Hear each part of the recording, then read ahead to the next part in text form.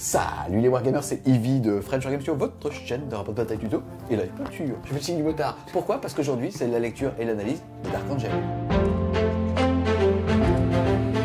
Les Dark Angels sont la première légion des Space Marines et c'est assez rigolo de voir que là, on est donc sur un supplément pour Space Marine, ça fait que vous devez avoir le codex Space Marine pour pouvoir justement voir l'intégralité des règles des Dark Angels.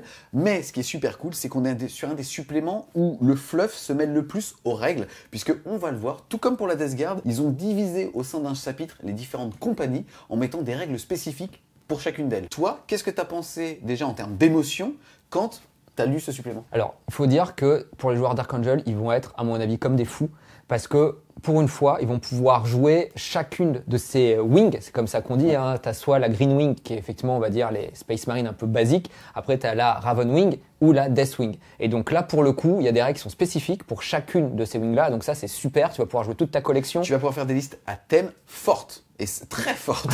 voilà, ça c'est peut-être après, bon, on va y revenir. Mais en tout cas, sur la partie euh, fluff pure, c'est vachement sympa. Pas oublier non plus que c'est un chapitre de Space Marine qui est un peu différent des autres, qui vit dans le secret et euh, qui a pour habitude de faire beaucoup d'interrogations parce qu'il recherche, on va dire, des déchus parmi euh, toutes les planètes et dans tout l'univers. Ça du livre d'ailleurs. Exactement, et c'est des choses qu'on va retrouver à la fois sur la partie euh, sur leur chaplain, mais aussi qu'on va retrouver sur leur domaine de sort, ou qui est basé sur effectivement l'interrogation mentale, ce genre de choses. Donc pour le coup, on ressent bien l'ADN de cette armée-là. On peut le jouer de façon fluff en fonction de ce qu'on a envie. Soit on joue chacune des wings, soit on fait une armée spécifique sur une wing. Donc ça, franchement, c'est super. J'ai coutume, avant de commencer un codex review, de lire une petite partie du fleuve ou un petit paragraphe qui m'a fait dresser les poils. Ici, en l'occurrence, malheureusement, bah, c'est les arbres brossés, euh, est tous un petit peu déçus de ne pas voir le retour de certains primarques, notamment de primarques loyalistes, et surtout dans le retour des primarques potentiels, on a bien évidemment Lyon L. Johnson, puisque historiquement, dans les codex, on va dire, d'il y a 3-4 versions, il était dans le coma, il est, en il est en chambre de stase lié à ses blessures, et depuis, je crois, deux codex ou un codex, en fait, il est plus dans le coma, il est juste endormi. Or, quand on regardait le codex justement Desgard, on ouvrait le bouquin et là c'était tout de suite Mortarion qui te parlait. Mm. Là, que nenni, c'est euh, le soldat inconnu qui, te parle un petit peu de ce que sont les Dark Angels. Et la phrase qui laisse éventuellement penser que justement un primar pourrait venir, c'est une dernière vérité demeure encore cachée cependant. Dans les tréfonds de la dernière roche, mère de Caliban, se trouve le plus grand secret des Dark Angels. Dans la salle la plus profonde, inaccessible et dehors des guetteurs de ténèbres, Lion L. Johnson dort. Oui, il dort. Ses blessures depuis longtemps guéries, il attend le temps où son concours sera déterminant. T'as raison mon pote, le Brexit, le Covid, rien à foutre. Lorsqu'il répondra à l'appel aux armes, il se placera une fois encore à la tête de ses fils pour défendre l'impérium de l'humanité. Il, il dort. il a pas envie, il préfère dormir. C'est pas, c'est pas déterminant pour lui. Tu sais, il y a une faille temporelle qui est arrivée, le warp qui se démonte et ainsi de suite. Euh, c'est comme le bordel monstrueux, quoi. T'as les nécrons qui arrivent, ainsi de suite. Lui, non les gars, c'est pas encore euh, besoin de moi. Tu sais, il a fait euh, décaler le réveil. Pour maintenant rentrer directement dans les règles, on va rappeler que la tactique de chapitre des Dark Angel est présente dans le codex Space Marine et que ça va être âpre résolution chaque fois qu'une figurine ayant cette tactique effectue une attaque à moins que l'unité de la figurine ne se soit déplacée, sans compter les mouvements d'engagement ni de consolidation, ça veut dire que quand on va se faire charger, on va pouvoir bénéficier justement de ce bonus, alors ajoutez un au jet de touche de l'attaque. Ça, c'est fort. Et ensuite, à chaque fois qu'un test d'attrition est effectué par une unité ayant cette tactique, il est automatiquement réussi. Ça, on l'avait de façon historique. Hein. Déjà avant, on sait qu'en gros, les Dark Angels, ils fuient pas, ils bougent pas, le moral, ils s'en fout. Donc ça, c'est quand même euh, vachement fort, surtout quand on va commencer à vouloir jouer des packs un peu importants. Et on le verra, il y a peut-être des Terminators qu'on a envie de jouer, euh, en tout cas par en gros pack. Donc ça, cette règle-là est assez intéressante. Après, on va dire la doctrine de base, qui est le plus 1 pour toucher quand on n'a pas bougé, est assez anecdotique comparée, on va dire, à d'autres doctrines qu'on peut avoir dans d'autres chapitres. Elle est pas mal, mais T'en as d'autres quand même aujourd'hui qui sont bien plus fortes. Alors elle est bien, comme tu l'as dit, quand tu te fais charger. Effectivement, quand tu te fais charger, bah, t'as pas bougé avant, euh, donc tu es bien content d'avoir ton petit plus 1 pour toucher. Euh, c'est pas négligeable. Maintenant, euh, c'est quand même pas tout le temps, c'est assez spécifique, donc c'est bien, c'est pas fou. Notamment, on va dire, imaginons qu'on a des motos Black Knight et on se dit tiens j'ai envie d'avoir plus 1 pour toucher, c'est-à-dire qu'on bouge plus et on va le voir dès qu'on bouge plus avec une unité de moto, on perd des bonus, notamment une invulnérable. Donc on aura quand même très envie la plupart du temps de bouger. Donc c'est bien, c'est pas fou, il y a mieux ailleurs. Yes, encore une fois, on parle souvent, tu as, parlé des différentes wings, mm. des différentes ailes de ce chapitre-là. En gros, c'est plutôt qu'en backline, c'est-à-dire en gardien de but dans notre camp, on va avoir ce qu'on appelle la green wing, généralement, ou autre chose. Hein. Mm. Mais là, pour le coup, c'est peut-être intéressant d'avoir, je sais pas, 5 intercesseurs lourds qui, eux, toucheront un 2 pour ça. Autre chose assez intéressante, c'est qu'il est spécifié ici que certains datasheets sont proscrits des Dark Angel. On va avoir les vétérans Vanguard et les vétérans Sternguard. Ensuite aussi, ce qui est intéressant, c'est que beaucoup des datasheets présents ici obtiennent les mots-clés Deathwing ou Ravenwing. On va avoir notamment les Blade Ward pour la Deathwing, on y reviendra tout à l'heure, mais on va couiner un petit peu parce que c'est fort, parce que c'est très fort, hein, pas parce que c'est pas normal Mm. ou fluff ou tout ce qu'on veut. Euh, et pareil pour la partie des motos qui eux vont avoir automatiquement la Ravenwing. Juste pour compléter ce que tu disais, ça on l'avait avec l'index, sauf que maintenant la grosse particularité, c'est que le mot clé va détacher, va donner en fait des règles en plus en fonction du détachement qu'on va avoir, ce qui n'était pas le cas avant. Donc là, ça va changer beaucoup de choses, surtout que les règles que ça fait gagner ces mots-clés sont vraiment très loin d'être anecdotiques. On découvre maintenant ensemble les règles spécifiques de ce supplément avec les aptitudes de détachement. Ça veut donc dire que pour bénéficier de l'entièreté de ces futures règles, votre détachement et non votre armée doit avoir le mot-clé Dark Angel. Vous allez avoir les unités Ravenwing des détachements Dark Angel qui n'ont pas l'aptitude zigzag, gagnent l'aptitude zigzag. Zigzag, c'est tout simplement à partir du moment où vous n'êtes pas resté immobile d'avoir une invulnérable à 5 au tir, et à partir du moment où vous avez Advance, elle passe à 4. Ensuite, on va avoir les unités Deathwing et Cercle intérieur des détachements Dark Angel qui n'ont pas déjà l'aptitude cercle intérieur gagnent l'aptitude cercle intérieur. Cette règle va vous permettre plusieurs choses. La première, c'est de réussir automatiquement les tests de morale. La deuxième, c'est à partir du moment où vous combattez des déchus, de ne pas forcément pouvoir vous désengager, si ce n'est si vous réussissez un test de commandement. Ça, à la limite, c'est la partie fleuve. La partie très, très, très forte, c'est que à chaque attaque contre cette unité, si celle-ci a le mot-clé infanterie, alors vous ne pourrez être blessé que sur du 4, 5, 6.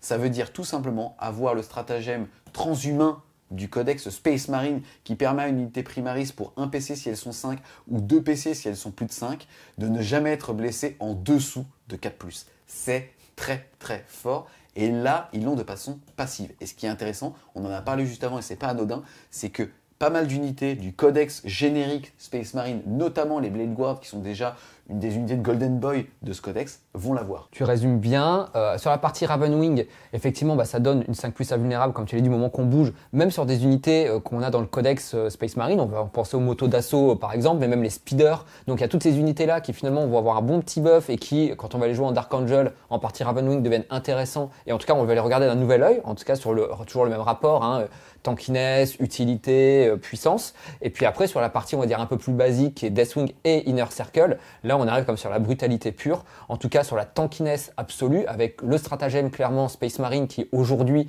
euh, est vraiment ce qui permet de tanker tout et n'importe quoi quand on se le prend dans la tête. Et là, Même on va Mortarion, hein. même Mortarion, exactement, puis même Annika, enfin ce que vous voulez en fait.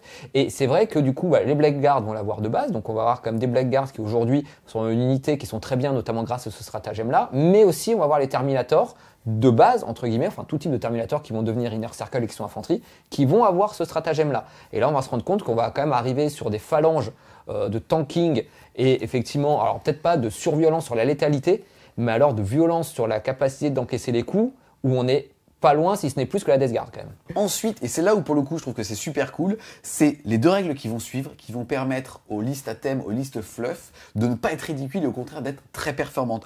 On va avoir, si toutes les unités de votre armée ont le mot-clé Dark Angel, les détachements d'avant-garde Dark Angel ne contenant que des figurines ayant le mot-clé Deathwing, les détachements avant-garde vous permettent d'avoir 6 slots d'élite D'élite. et un choix de QG minimum et aucun choix de troupes, aucune autre taxe. Les détachements d'avant-garde vous permettent d'avoir au minima un QG et trois troupes justement de type d'élite et de monter jusqu'à 6. C'est ça qui est intéressant, c'est que vous n'avez pas justement de taxe, vous allez pouvoir tout mettre là-dedans. Et ces unités vont gagner le mot-clé première compagnie. Donc fluff et fun et fort, puisque première compagnie vont avoir les unités escouade de Terminator de la Deathwing, escouade Terminator, escouade d'assaut Terminator, escouade de Terminator Relic de ces détachements gagnent l'aptitude objectif sécurisé. Si votre seigneur de guerre fait partie de ce détachement, le bonus de commandement est leur plus 3. Puisque pour rappel, votre seigneur de guerre ne rembourse que les détachements de type bataillon ou patrouille, c'est-à-dire 3 ou 2 PC. Là, même un détachement spécifique, bah, en l'occurrence ici d'élite, vous coûte 0 PC, vous commencez à 6 en 1000 ou à 12 en 2000. C'est fort, c'est fluff, c'est ce qu'on avait dit quand même dès le début, c'est si on a envie de se faire une armée que de Terminator, euh, on peut, donc c'est quand même Trop classe. Voilà, c'est quand même super cool.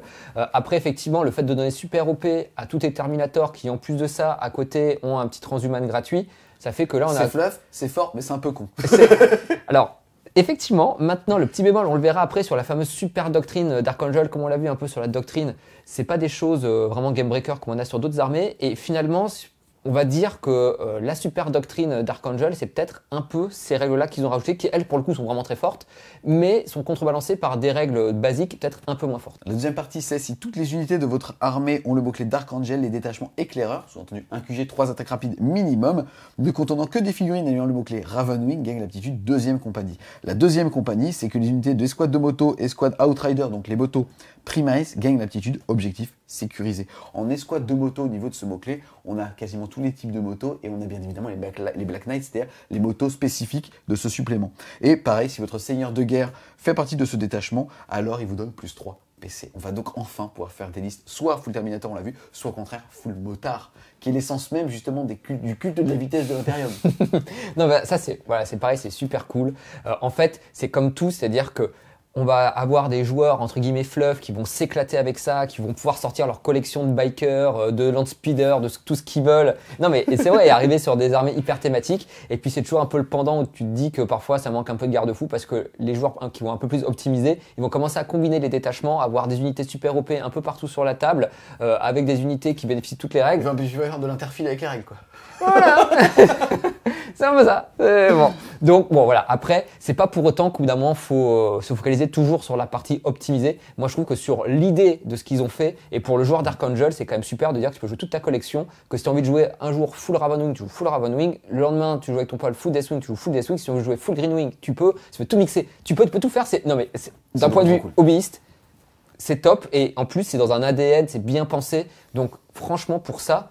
Euh, c'est vraiment génial. Yes, et ce qui est marrant, c'est ce qui va là-dedans, c'est aussi que votre armée ne peut inclure qu'un seul capitaine de la Ravenwing et qu'un seul capitaine de la Deathwing. On va aussi avoir d'autres règles, notamment les fils du lion, ça c'est quel que soit, on va dire, les détachements, première, deuxième compagnie, vous allez bénéficier de cette règle. C'est les unités ayant cette aptitude ont les aptitudes suivantes décrites ci-dessous. Vitesse du corbeau, discipline du tir et implacable. Vitesse du corbeau, c'est ajouter 3 pouces à la caractéristique de mouvement tant que la doctrine dévastator est active.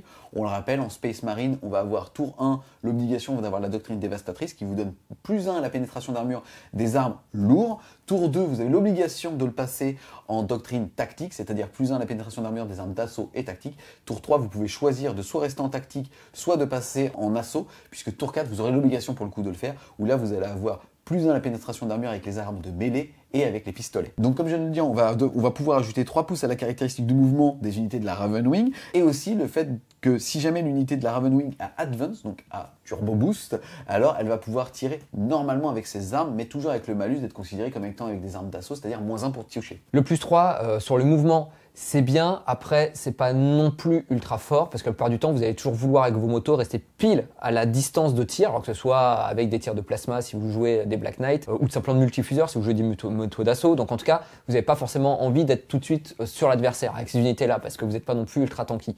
Maintenant, là où c'est vachement bien, c'est qu'effectivement, dès le T1, avec l'advance plus le 3 pas en plus, vous pouvez vous replacer, c'est-à-dire que vous pouvez commencer la partie vraiment bien, bien planquée ou très loin pour vous dire si j'ai pas le T1, c'est pas grave, mon adversaire, il peut pas me faire d'alpha strike. Et si jamais j'ai le T1, de toute façon, avec mon advance, je vais pouvoir me replacer, je vais pouvoir tirer avec une arme lourde si j'ai besoin, certes à moins 1, mais bon, à la limite, c'est pas grave, et je vais pouvoir quand même, moi, délivrer ma puissance de feu. Donc, pour le coup, c'est quand même quelque chose d'assez intéressant pour moi d'un point de vue plutôt défensif que d'un point de vue offensif. C'est bien. Il y a aussi une partie un petit peu Gumball qui, tout comme les Arlequins, quand tu bouges de 23 pouces, bah, de pouvoir tout simplement faire un cordon et enfermer l'autre chez lui s'il n'a pas de mot-clé vol. Et donc, en fait, toi, t'assurer quasiment de marquer 15 points de primaire sur justement le round 2 et peut-être même sur le round 3, dépendamment de ta tankiness et ainsi de suite. Ensuite, on va voir la discipline de tir tant que la doctrine tactique est active pour votre armée. Les figurines d'infanterie de votre armée, hormis les figurines de la Deathwing, peuvent faire des attaques avec des armes de tir rapide et d'assaut, même si elles sont à portée d'engagement d'une figurine ennemie. Ça, c'est vraiment bien. Alors là, pour le coup, c'est vraiment, euh, c'est marrant parce que le premier, c'est la Ravenwing. Là, on arrive sur la Greenwing, donc c'est vraiment pour eux parce que le garde-fou sur les Terminators, heureusement qu'ils l'ont eu, parce que si on avait des Terminators qui, avec leur bolter au, corps à corps, pouvaient quand même tirer sur du 5 euh, là, franchement, ça aurait été très pénible. Euh, mais en tout cas, se dire, ce qui est assez intéressant, c'est que vous avez vos Space Marine intercessors, ils avancent, et même si on les engage au corps à corps, 5 plus. C'est pas grave, ils restent au corps à corps, ils mettent leur coup, s'il faut, ils tirent dessus au bolter. C'est 5 plus relance des 1. Puisqu'ils ne se seront pas désengagés, ils n'auront pas bougé. C'est vrai, exactement, de façon native. Donc c'est quand même assez sympa. C'est pareil, pour moi, c'est pas un méga bonus. Maintenant, faut, on le rappelle, ça, c'est des bonus de détachement. Et les bonus qui sont les bonus d'armée quand on est entièrement Dark Angel, c'était ceux qu'on a vus avant. De première et compagnie, ouais. Exactement. Donc il faut, il faut bien voir hein, que en gros ça, ça reste en pareil, c'est comme la doctrine, c'est pas vraiment la super doctrine. Et finalement la super doctrine, on est full Dark Angel, c'était plutôt euh, les ceux, ceux qu'on a vus juste Yes. avant. Et enfin, la dernière règle, c'est implacable tant que la doctrine d'assaut, donc celle de corps à corps, est active pour votre armée. À chaque attaque de mêlée d'une figurine infanterie ou de Dreadnought, Deathwing de votre armée, en gros, à partir du moment où vous ciblez une figurine qui a une caractéristique de point de vie de 8 ou plus, alors vous pourrez relancer les jets de blessure. C'est pas mal. Maintenant, c'est vrai que quand on joue Deathwing, la plupart du temps, c'est soit le marteau tonnerre, soit le gantelet énergétique. Donc, la plupart du temps, vous êtes déjà force 8. Donc, reroll pour blesser, vous n'avez pas tout le temps besoin. Là où c'est quand même assez intéressant, c'est que ça marche finalement sur les véhicules. Donc, c'est là où on a besoin de faire la reroll. Bah, ça tombe bien, c'est quand il faut. Et aussi sur certains personnages qui peuvent être très tanky en face, où là aussi, c'est quand même pas mal de l'avoir. Donc, finalement, c'est pareil, c'est assez anecdotique, puisqu'il faut être au corps à corps, il faut être un personnage ou un véhicule, ainsi de suite. Mais quand ça va se déclencher, c'est pas mal. Que du bon au niveau de ces règles génériques, puisque en gros, on va pouvoir jouer soit une espèce de soupe d'Archangel, limite, on l'a vu ici, on va pouvoir faire une soupe de Space Marine, pas de l'Imperium, parce que sinon on va perdre les doctrines tout court, mais en tout cas, c'est quand même assez bénéfique de se dire que soit on fait une armée full d'Archangel, comme tu l'as dit, avec un détachement Deathwing, un détachement Ravenwing, et on va pouvoir mettre la Greenwing dans les deux, puisque pour le coup, on va pas tellement se casser, soit au contraire, fait juste un mono détachement Deathwing, où on va vraiment bah, être très polarisé au, au sein d'un gameplay et du fluff. C'est super cool. On enchaîne ensuite avec les stratagèmes. Ici, on va s'attaquer uniquement aux stratagèmes du supplément, mais on n'oublie pas toutes les synergies habituelles qu'on va avoir au niveau des Space Marines. S'il y a des combos, on pourra le dire. Le premier stratagème va être Colère du Lion, puisque utilise stratagème à votre phase de commandement pour 2 PC. Si une doctrine de combat est active pour votre armée, jusqu'au début de votre prochaine phase de commandement, à chaque attaque d'une figurine d'Archangel de votre armée qui est équipée d'une arme spécifique qui serait affectée par la doctrine de combat, alors sur un jet de blessure non modifié de 6, la pénétration d'armure serait améliorée de 1. Et ce bonus se cumule d'ailleurs avec la doctrine de combat active, sous-entendu on pourra PSC PA-2. C'est un peu cher payé peut-être Ouais.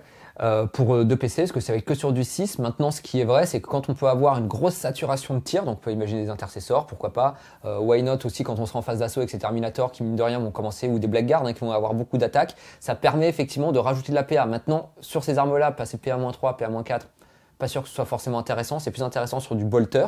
Euh, donc, à voir, est-ce que ça vaut 2 PC Je sais pas. C'est cher. En tout cas, ce qui est fun, c'est qu'au niveau du fluff, c'est juste qu'en fait, ils sont vénères et donc ils tapent plus fort. ça, ça, c'est cool. Ensuite, on va avoir pour deux PC intraitable. Utilisez ce stratagème à votre phase de mouvement lorsqu'une unité d'Archangel de votre armée est choisie pour battre en retraite. Si l'unité a l'aptitude cercle intérieur, vous n'avez pas besoin de jeter les 2 dés. Donc en fait, elle pourra fuir automatiquement. Et jusqu'à la fin du tour, l'unité est éligible pour tirer. Donc pour deux PC, tu te transformes en Ultramarine plus plus. Celui-là, il est vraiment très bien, notamment quand vous allez jouer la Ravenwing, où là, effectivement, vous pouvez jouer des Black Knight qui vont charger, qui vont mettre des coups de Masse, de, de absolument, masse, ouais. et exactement. Et puis après, bah, hop, vous allez les désengager et ils vont mettre tous leurs tirs de plasma. Ça peut être pareil sur des motos d'assaut ou sur des speeders, peu importe, en tout cas, tout ce que vous aura cliqué, ça vous donne l'opportunité, en tout cas, de pouvoir euh, vous décliquer et tirer. Donc ça, c'est vraiment très bien. Yes, ensuite on va avoir l'assaut Deathwing pour un PC utilise ce stratagème à la phase de tir quand une unité Deathwing de votre armée est choisie pour tirer. À chaque attaque de tir d'une figurine d'unité, si elle a été placée sur le champ de bataille grâce à une balise de téléportation ou une frappe en téléportarium, ajoutez 1 au jet de blessure de l'attaque. Pour combien de PC Ça va, c'est le tour où on arrive. Non, alors après, voilà. Le plus un pour blesser, alors c'est c'est toujours fort. Maintenant, il y a beaucoup de garde-fous. Il faut arriver de téléportarium. On le sait, aujourd'hui, on a moins envie de le faire puisque quand on est joueur 2, on peut avoir un joueur 1 qui prend très vite la table et donc du coup qui nous laisse pas beaucoup de choix pour arriver en FEP et donc finalement assez peu de choix sur les unités qu'on va tirer. Je te rassure, même quand on est joueur 1. Puisqu'en fait, comme ça sera au deuxième round, tu auras une phase de mouvement pour lui mettre dans le fil. E- Exactement. Donc c'est vrai que déjà, c'est un peu plus limité. En plus, ça va être sur des Terminators, donc la plupart du temps, ça va être sur du Bolter. Ça reste bien, mais clairement, il y a beaucoup de garde-fous qui font que le stratagème n'est pas non plus complètement pété. Yes. Ensuite, à plein gaz qui va valoir entre 1 et 2 PC. 1 PC si on a 5 figurines, 2 PC si on a plus, puisque utilisez ce stratagème à votre phase de mouvement après qu'une unité Ravenwing de votre armée a Advance. L'unité fait aussitôt un mouvement normal de jusqu'à 12 pouces, mais n'est pas éligible pour tirer ni charger. Ça veut quand même dire qu'on va être capable de faire 32 pouces si on est un tour autre que le tour 1 et 35 si on est tour 1. C'est vraiment, je traverse le champ de bataille, on le voit pas passer. C'est le Ghost Rider, c'est le Ghost Rider. Ça. À côté, il faut faire les bruits de flammes. hein, parce que le truc- après, voilà, on peut pas tirer, on peut rien faire. C'est vraiment bien, bah, notamment aussi en fin de partie, hein, parce que quand vous allez voir prendre un objectif ou contester, ou quand vous êtes joueur 2 justement et que vous pouvez prendre à la fin de la game les objectifs, c'est là où ça compte. Avoir un stratagème comme ça qui vous dit bon, bah, mon unité qu'elle a en fait, elle est là-bas, et donc du coup, bah, j'ai tous mes points. C'est vraiment bien. Donc vraiment, pour le coup, en termes de replacement en stratégie, c'est vraiment un bon bon stratagème. Tu as parlé de surprise au niveau des mouvements, mais même en termes de cercueil. faut Ah oui. imaginer que quand tu bouges de 30 pouces, tu fais le cercueil que tu veux. Là, il n'y a pas de ça passe, ça passe pas avec les socles gélules qui sont comme as. Ensuite, stratagème plus controversé par rapport à sa puissance, ça va être la ligne inviolable. Pour un PC, utilisez ce stratagème au début de la phase de combat. Choisissez unité infanterie d'Archangel de votre armée jusqu'à la fin de la phase. L'unité peut être choisie comme cible pour des attaques en mêlée seulement si la figurine attaquante est à portée d'engagement. Ça veut dire moins d'un pouce. Cela signifie que les figurines ennemies n'étant pas à portée d'engagement mais étant à un demi-pouce de la figurine elle-même, à un demi-pouce de l'unité qui va taper, ne peuvent pas cibler les attaques. Ça veut dire, les gars, que en gros les unités qui sont pas à 4 pouces parce qu'on pense au pile-in justement de 3 pouces de mise en contact ne pourront pas taper. Et en général comme c'est vous qui allez faire ou en tout cas en vous démordant bien, vous allez pouvoir faire des charges en coin, il y a peut-être que 3 figurines qui vont vous rétorquer alors que vous ça va être Bagdad derrière. Donc c'est quand même très fort ça. hein. En fait, alors celui-là, d'un point de vue fluff, il est vachement génial parce qu'on imagine justement euh, la, la Deathwing qui avec leurs boucliers, Ouais. qui se prennent des hordes et qui tankent et tout ça, qui prennent rien. Donc ça, sur le fluff, sur comment on imagine la- les Dark Angel, parce que vraiment les Dark Angel, pour moi, c'est l'armée tortue. Hein, ils sont derrière leur carapace et puis ils bougent pas. Ça, c'est top. Après, là, comme tu l'as très bien dit, le vrai problème qu'on va avoir, c'est que même, même euh, sans ça, hein, même quand on a chargé, parfois on n'a pas la place de mettre toutes ces figurines, on est obligé, même si on est une unité de 5 ou de 10, euh, d'avoir des unités en deux rangs. Le second ne va jamais frapper. Et donc déjà qu'on est sur des unités, euh, pour les impacter, c'est assez dur parce qu'on l'a vu euh, la plupart du temps quand on joue full Dark Angel, et ce que vous allez faire, vous allez avoir des unités contre transhumanes, donc pour les blesser, avec l'invulnérable et tout, c'est dur. Et en plus de ça, ils claquent ce stratagème-là, et derrière, alors, les hordes, autant vous dire qu'elles elles font plus rien. Même les armées d'élite, si vous avez un pack de 10, euh, j'en sais rien, on va- je vais vous dire que jouer Blue Angel, euh, et que vous avez décidé de jouer euh, 10 gars euh, qui tapent fort, bah, ils vont se retrouver un peu comme des cons. Donc c'est vrai que ce stratagème-là, pour le coup, il est vraiment super super fort. Ensuite, on va avoir manœuvre à haute vélocité qui vaut 1 PC. Utilisez ce stratagème à, votre phase, à la phase de tir adverse. Quand vous allouez une attaque de tir à une figurine véhicule Ravenwing de votre armée jusqu'à la fin de la- du prochain tour, une figurine ne sauvegarde invulnérable de 4 contre les tirs. Bon, bah là aussi, on a sur un stratagème comme qui est super bon. Pour un PC, même si on n'a pas fait l'advance, on va pouvoir avoir sa 4 plus invulnérable, c'est top. On va le revoir parce que globalement, ceux qui vont vouloir optimiser, ils vont commencer à vouloir jouer des, motos- des motos d'assaut et des packs euh, de motos d'assaut avec multifuseurs et plusieurs motos d'assaut. Quand on commence à avoir tous les Et tours. des speeders. J'en ai mis 5 sur le bon coin, ça s'il te plaît. et des speeders. Mais en vrai, ce sera vraiment sur ça, ou même sur ces Black Knight, hein, quand on va commencer à jouer des packs de 5, 6, 7, pourquoi pas 10 Black Knight, tous les tours, on se dira qu'on a un petit de côté pour que notre unité elle, soit une 4 plus invulnérable. Donc ça, c'est vraiment bien. Yes, 9 Black Knight, c'est quand même 18 tirs de plasma vénère et on n'a pas forcément envie d'avoir moins 1 pour être touché si on a advance. Et là, au moins pour le PC, bah, justement, ça palliera euh, pour, avoir, pour maintenir cet invulnérable à 4. Ensuite, on va avoir aucun ennemi n'est invincible pour 2 PC. Utilisez ce stratagème à la phase de combat quand une unité de chevalier de la Deathwing de votre armée est choisie pour combattre. Jusqu'à la fin de la phase, à chaque fois qu'une figurine de l'unité chevalier de Deathwing effectue une attaque avec une masse d'absolution contre une unité véhicule ou monstre, ajoutez 1 au jet de blessure pour les attaques, améliorez de 1 la pénétration d'armure de l'attaque. Encore un petit plus d'un pour blessé, pour un PC. Euh, après, plus sérieusement, bah, c'est super bien. Voilà. Et pour le coup, ce qui est, c'est là où c'est vraiment intéressant maintenant, c'est que Games Workshop fait des stratagèmes spécifiques pour des unités très encadrées, pour qu'il n'y ait pas, ou justement, au bout d'un moment, des stratagèmes qui soient utilisés sur des choses qu'ils n'avaient pas forcément vues et tout ça. Ce qui fait que cette unité-là, elle est vraiment bien. Les masses, on va pas, on va pas, enfin, pour ceux qui savent pas, c'est déjà de la force 8, hein, PA-3. Donc là, force 8, plus 1 pour que, PA-4. euh, c'est pour interroger. Ouais, c'est ça. Oh, il tape d'abord, et ce qui reste, il pose des questions? C'est vrai que c'est un peu ça l'Archangel finalement. C'est- ça la période. ah, c'est la finesse. Mais en tout cas, ce stratagème est vraiment bien. Yes, c'est intéressant que tu en parles, puisqu'en en gros, historiquement, les unités d'infanterie dans quasiment tous les codex pouvaient retaper pour 3 PC. Et en fait, avec l'arrivée du codex Space Marine, on l'a vu que c'était plus 3, mais 2 PC, mais que c'était réservé par exemple aux intercesseurs d'assaut. Et maintenant, dans chaque codex, ça a été harmonisé avec ce genre de mécanisme. C'est vraiment pas mal. Ensuite, on va avoir destiné à commander. Pour un PC, on va pouvoir donner une relique chapitrale à un sergent, enfin une relique générique chapitrale à un sergent. On va avoir le parangon du chapitre qui est assez intéressant, puisque pour le coup, celui-là, pour un PC, ne va pas nous permettre d'avoir un trait de seigneur de guerre sur un autre personnage, mais de pouvoir en avoir deux sur un seigneur de guerre. Et ça aussi, c'est intéressant pour se faire des gros tons. Voilà, on peut faire vraiment du gros ton de corps à corps. On va le voir, il y a plusieurs euh, combos possibles. Après, là aussi où c'est intéressant, au-delà du gros ton euh, de corps à corps, c'est n'oublions pas, on a accès au Codex Space Marine, donc on peut se dire que le trait, on prend un trait de seigneur de guerre qui est Rite of War, donc qui donne super OP autour de soi, même si dans ce codex c'est pas très utile, mais imaginons.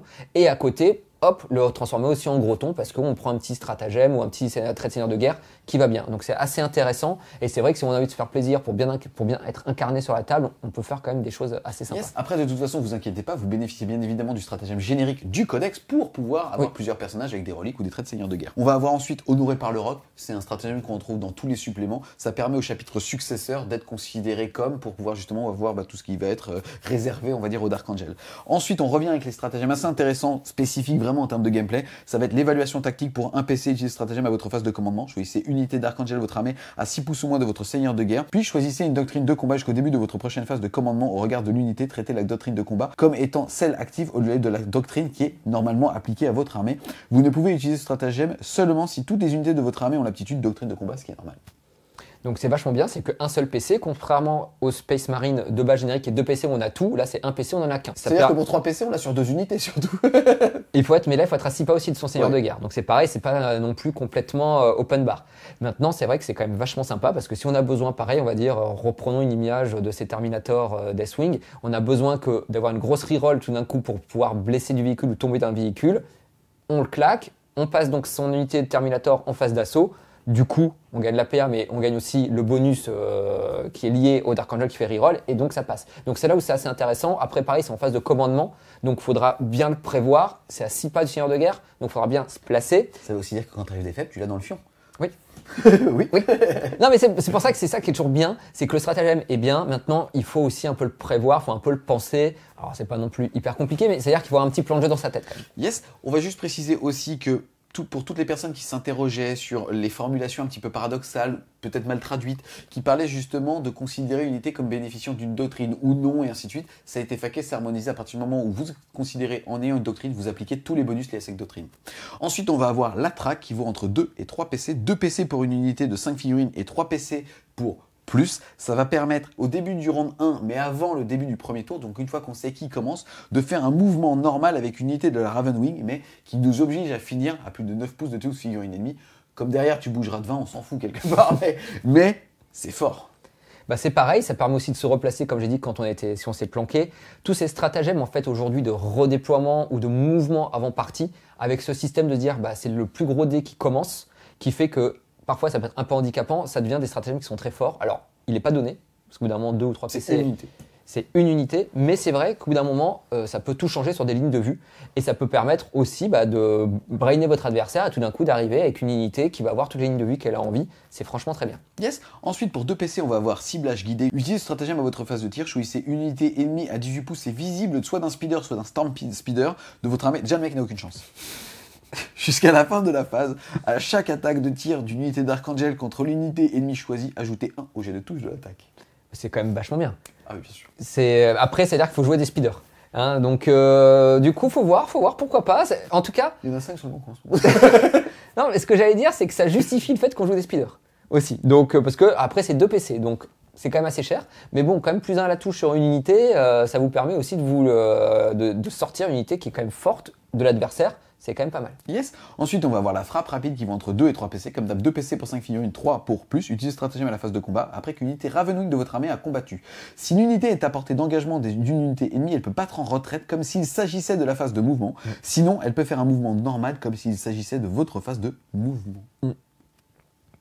Ah bah c'est.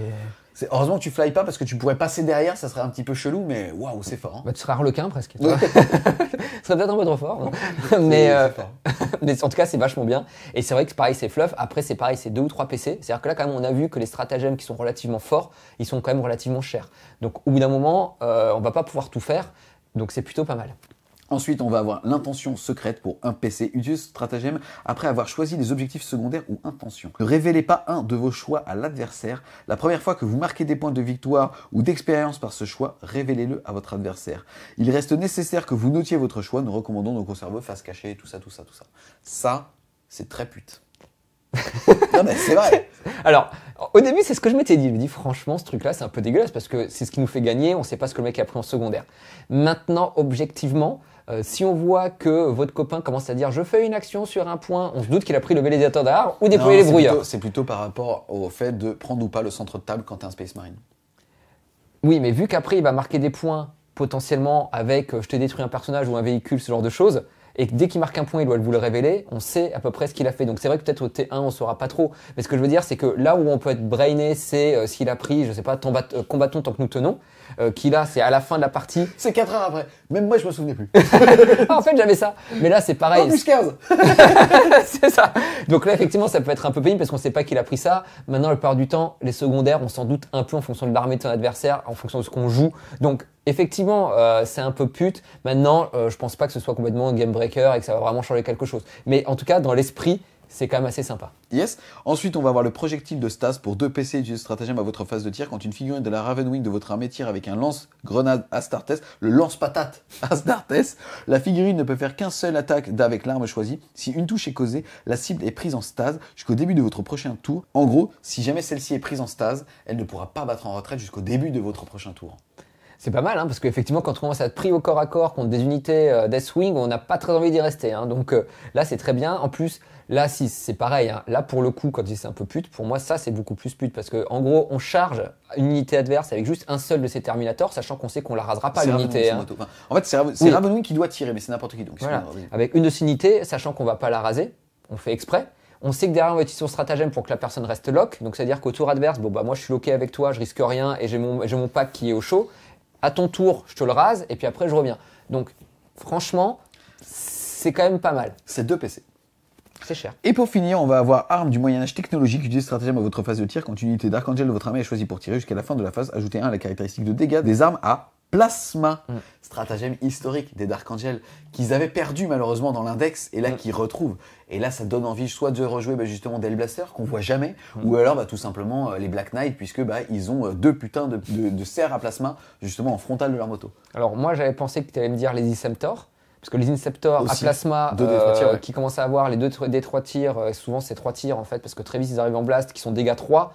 Là on commence à faire de très très gros trous avec ça. hein. Donc je suis assez mitigé hein, sur ce stratagème, non pas parce que je le trouve pas cool, parce que comme tu l'as dit sur du Black Knight, franchement c'est iconique, et peut-être que c'est les mis que sur le Black Knight, on dit c'est super cool, ou sur les unités euh, Ravenwing. en fait, dès que tu commences à ouvrir justement au reste, ça sera même un petit peu la conclusion de cette vidéo. C'est est-ce que certaines choses ne sont pas trop fortes pour ne pas avoir envie de jouer de la Deathwing, de la Ravenwing, mais des unités génériques? Exactement. Et là déjà c'est un peu ça. Donc oui c'est cool qu'il y soit. C'est vrai que c'est emblématique. C'est le stratagème d'Archangel. On est content de le revoir. Maintenant peut-être moi j'aurais peut-être mis un peu plus de limites. Vois un avantage, j'aurai pas besoin de tourner de conclusion.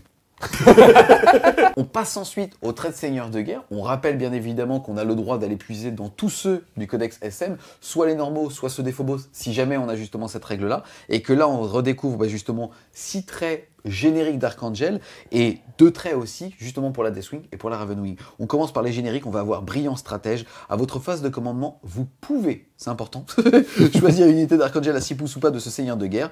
Et en gros, à chaque attaque de l'unité, si la doctrine tactique est active, alors quand vous tatanez, vous pourrez choisir que la doctrine dévastatrice est active. Et pareil, à chaque attaque de l'unité, si la doctrine d'assaut est active, alors vous pouvez considérer que la doctrine tactique est active. Heureusement, vous pouvez, parce que sinon Mm. tu te pièges tout seul.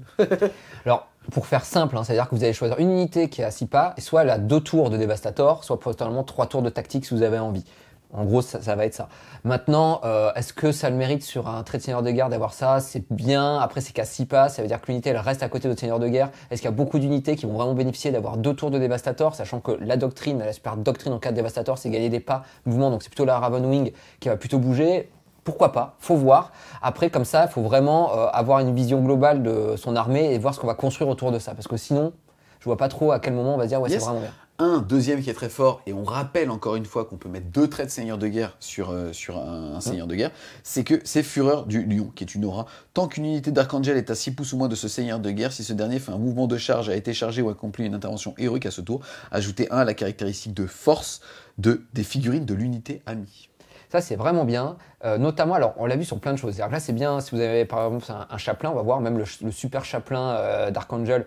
C'est quand même un sacré ton. Donc, quand il commence à être euh, upgradé avec les, les litanies qui passent sur du 2, euh, il, peut, il peut vraiment se transformer avec un jetpack et ainsi de suite. Plus euh, ce trait-là, il peut mettre des sacrés tatanes, donc ça, ça peut être assez amusant. C'est aussi bien si vous jouez plutôt la, la Green Wing, parce que finalement, Mm. vous allez avoir des intercesseurs qui, quand ils se font charger, commencent à avoir une force 5, qui ne déconnent pas non plus sur le nombre d'attaques, qui, quand ils sont au corps à corps, on l'a vu en moment de la phase tactique, ils vont quand même tirer avec le bolter dessus, et puis ils vont quand même mettre des coups derrière. Donc tout ça, ça veut dire que euh, ça synergise bien autour de soi. Je trouve que c'est vraiment un, un trait qui est assez intéressant, et puis en plus, on passe sur un cap qui est la force 5, qui est quand même très intéressante. Et c'est aussi, on passe sur la force 6 si on les met justement sur un seigneur de guerre à moto qui serait accompagné des Black Knight, puisque avec leur marteau Corvus, Ouais. ils passent de force 4 à 5 et là de 5 à 6. Et ça veut dire que tu as blessé la horde, qui généralement a une endurance de 3 sur du 2. Non mais c'est bien, Ça celui- cause, hein. Ouais, celui-là, il est vraiment bien. Et c'est vrai que, comme tu l'as dit, on peut, en plus, on peut avoir deux traits. Donc, on peut imaginer qu'on commence à se prendre deux traits de ton, entre guillemets. Et là, on se fait vraiment un truc bien badass, quoi.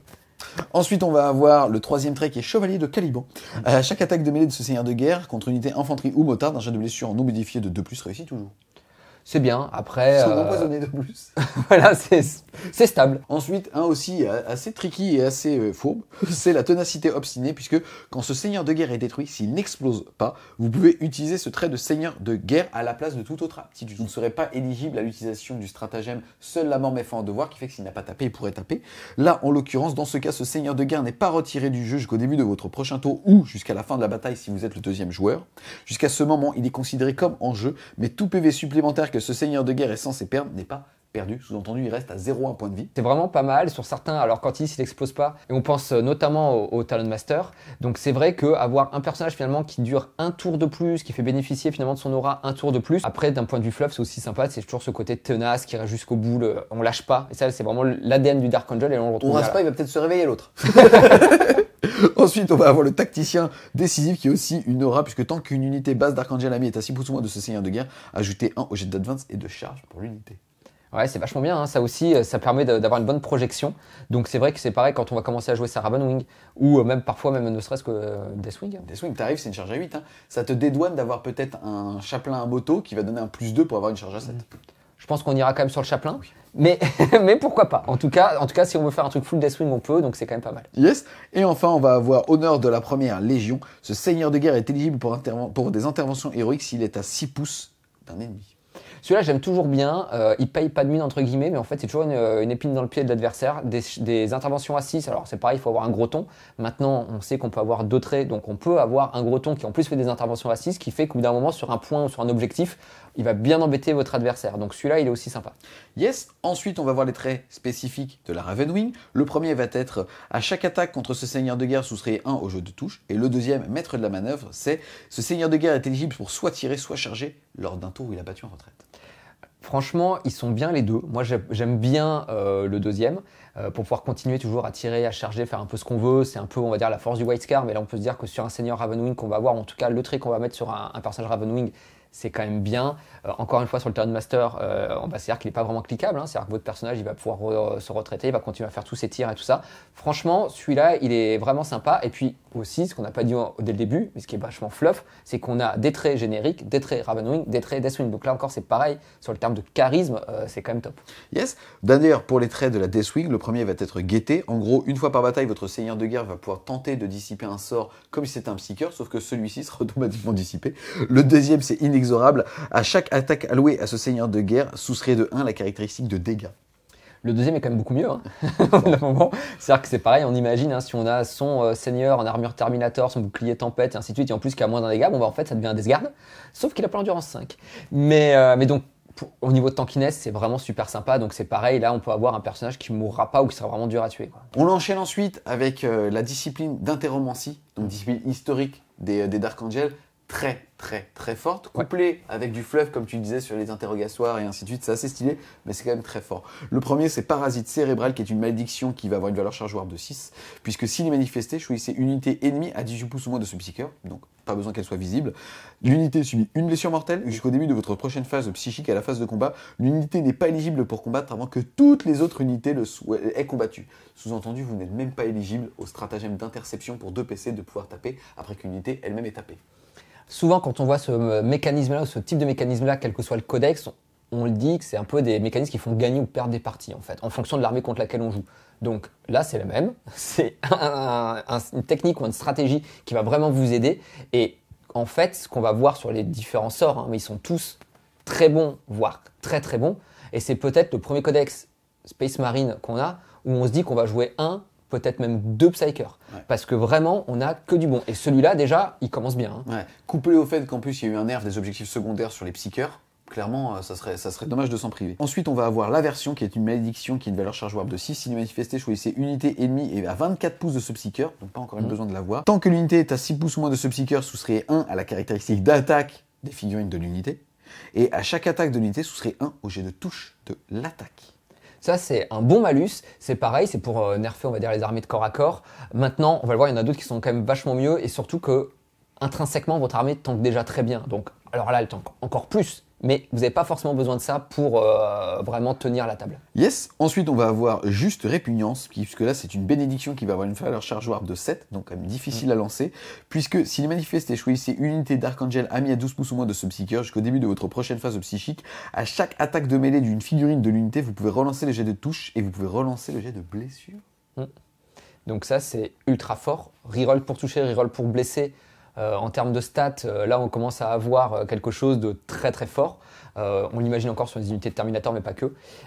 Maintenant, c'est charge warp 7. Donc on se dit c'est dur. C'est là aussi c'est intéressant, c'est que c'est peut-être un des codex où on a envie d'avoir un maître Psyker pour avoir le plus 1. Ouais. Jusqu'à présent, c'est peut-être pas celui qu'on a le plus cherché.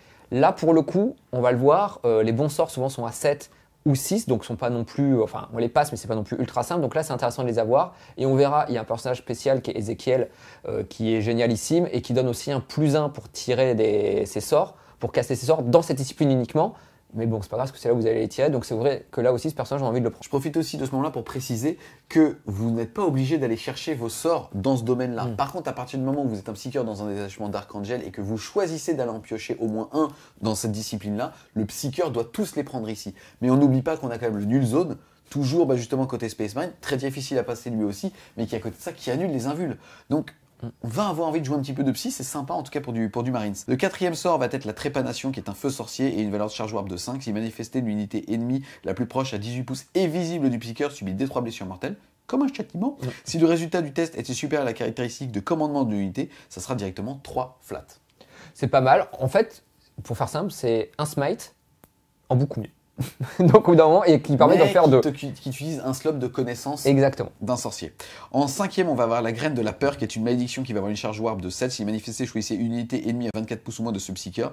Et jusqu'au début de votre prochaine phase de psychique, souscrivez 1 à la caractéristique de commandement de l'unité. L'unité ne peut pas utiliser l'aptitude objectif sécurisé si elle l'a. Et si le résultat du test psychique est supérieur ou égal à la caractéristique de commandement de l'unité, celle-ci ne peut pas accomplir d'action non plus. Hmm.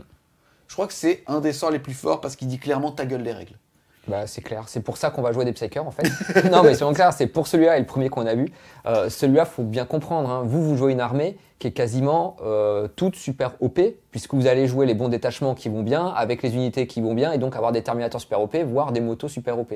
Et l'adversaire qui, malheureusement, aurait envie lui aussi d'avoir des super OP sur le point où vous êtes, vous dit non, mon gars, celle-là, en fait, elle est plus super OP, donc quoi qu'il arrive, c'est à moi.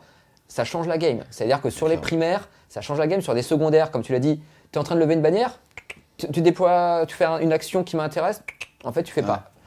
Refais-le. Ah, c'est pas mal. Mm. Mais attends, garde-le en main parce qu'en fait, on va passer au sixième sort qui est effacement de mémoire, qui est une malédiction qui est une charge warp de 7. S'il est manifesté, choisissez unité ennemie à 18 pouces ou moins de ce psycheur, puis choisissez une aptitude d'aura qu'elle possède, elle ne le possède plus. Très fort aussi, hein. je pense que c'est les deux qui sont golden. hein. Bah, ces deux-là, le premier aussi qui est quand même super super fort euh, également, hein, qui est super violent. Donc c'est pour ça que pour moi il y en a quand même trois. On enlève les auras, bon bah on le sait, aujourd'hui on joue autour des auras, quelles que soient ses armées. On pense par exemple à un joueur Sista euh, qui a mis son imagifère pour avoir un petit ignore PA-2. En fait, euh, en fait, non, tu l'as plus, ça. Donc, euh, ça change vraiment tout. Et c'est vrai qu'il y a des sorts. Il y a entre j'enlève le super OP, euh, j'annule ton aura. En fait, toi, euh, tu frapperas en dernier. Donc, moi, pour l'instant, j'active toutes mes unités tranquilles. S'il faut, je te latte la gueule. Et puis après, bah, tu peux, s'il te reste des vivants, tu peux frapper. C'est vraiment Tu des... prends pas lock. tu prends pas lock au prochain tour.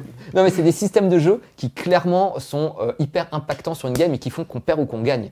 Et là, quand on en voit qu'on en a quand même trois dans une seule discipline psy, je pense qu'on n'a jamais vu une discipline psy jusqu'à Ah, aussi, présent. ouais. Il y avait autant de sorts ouais.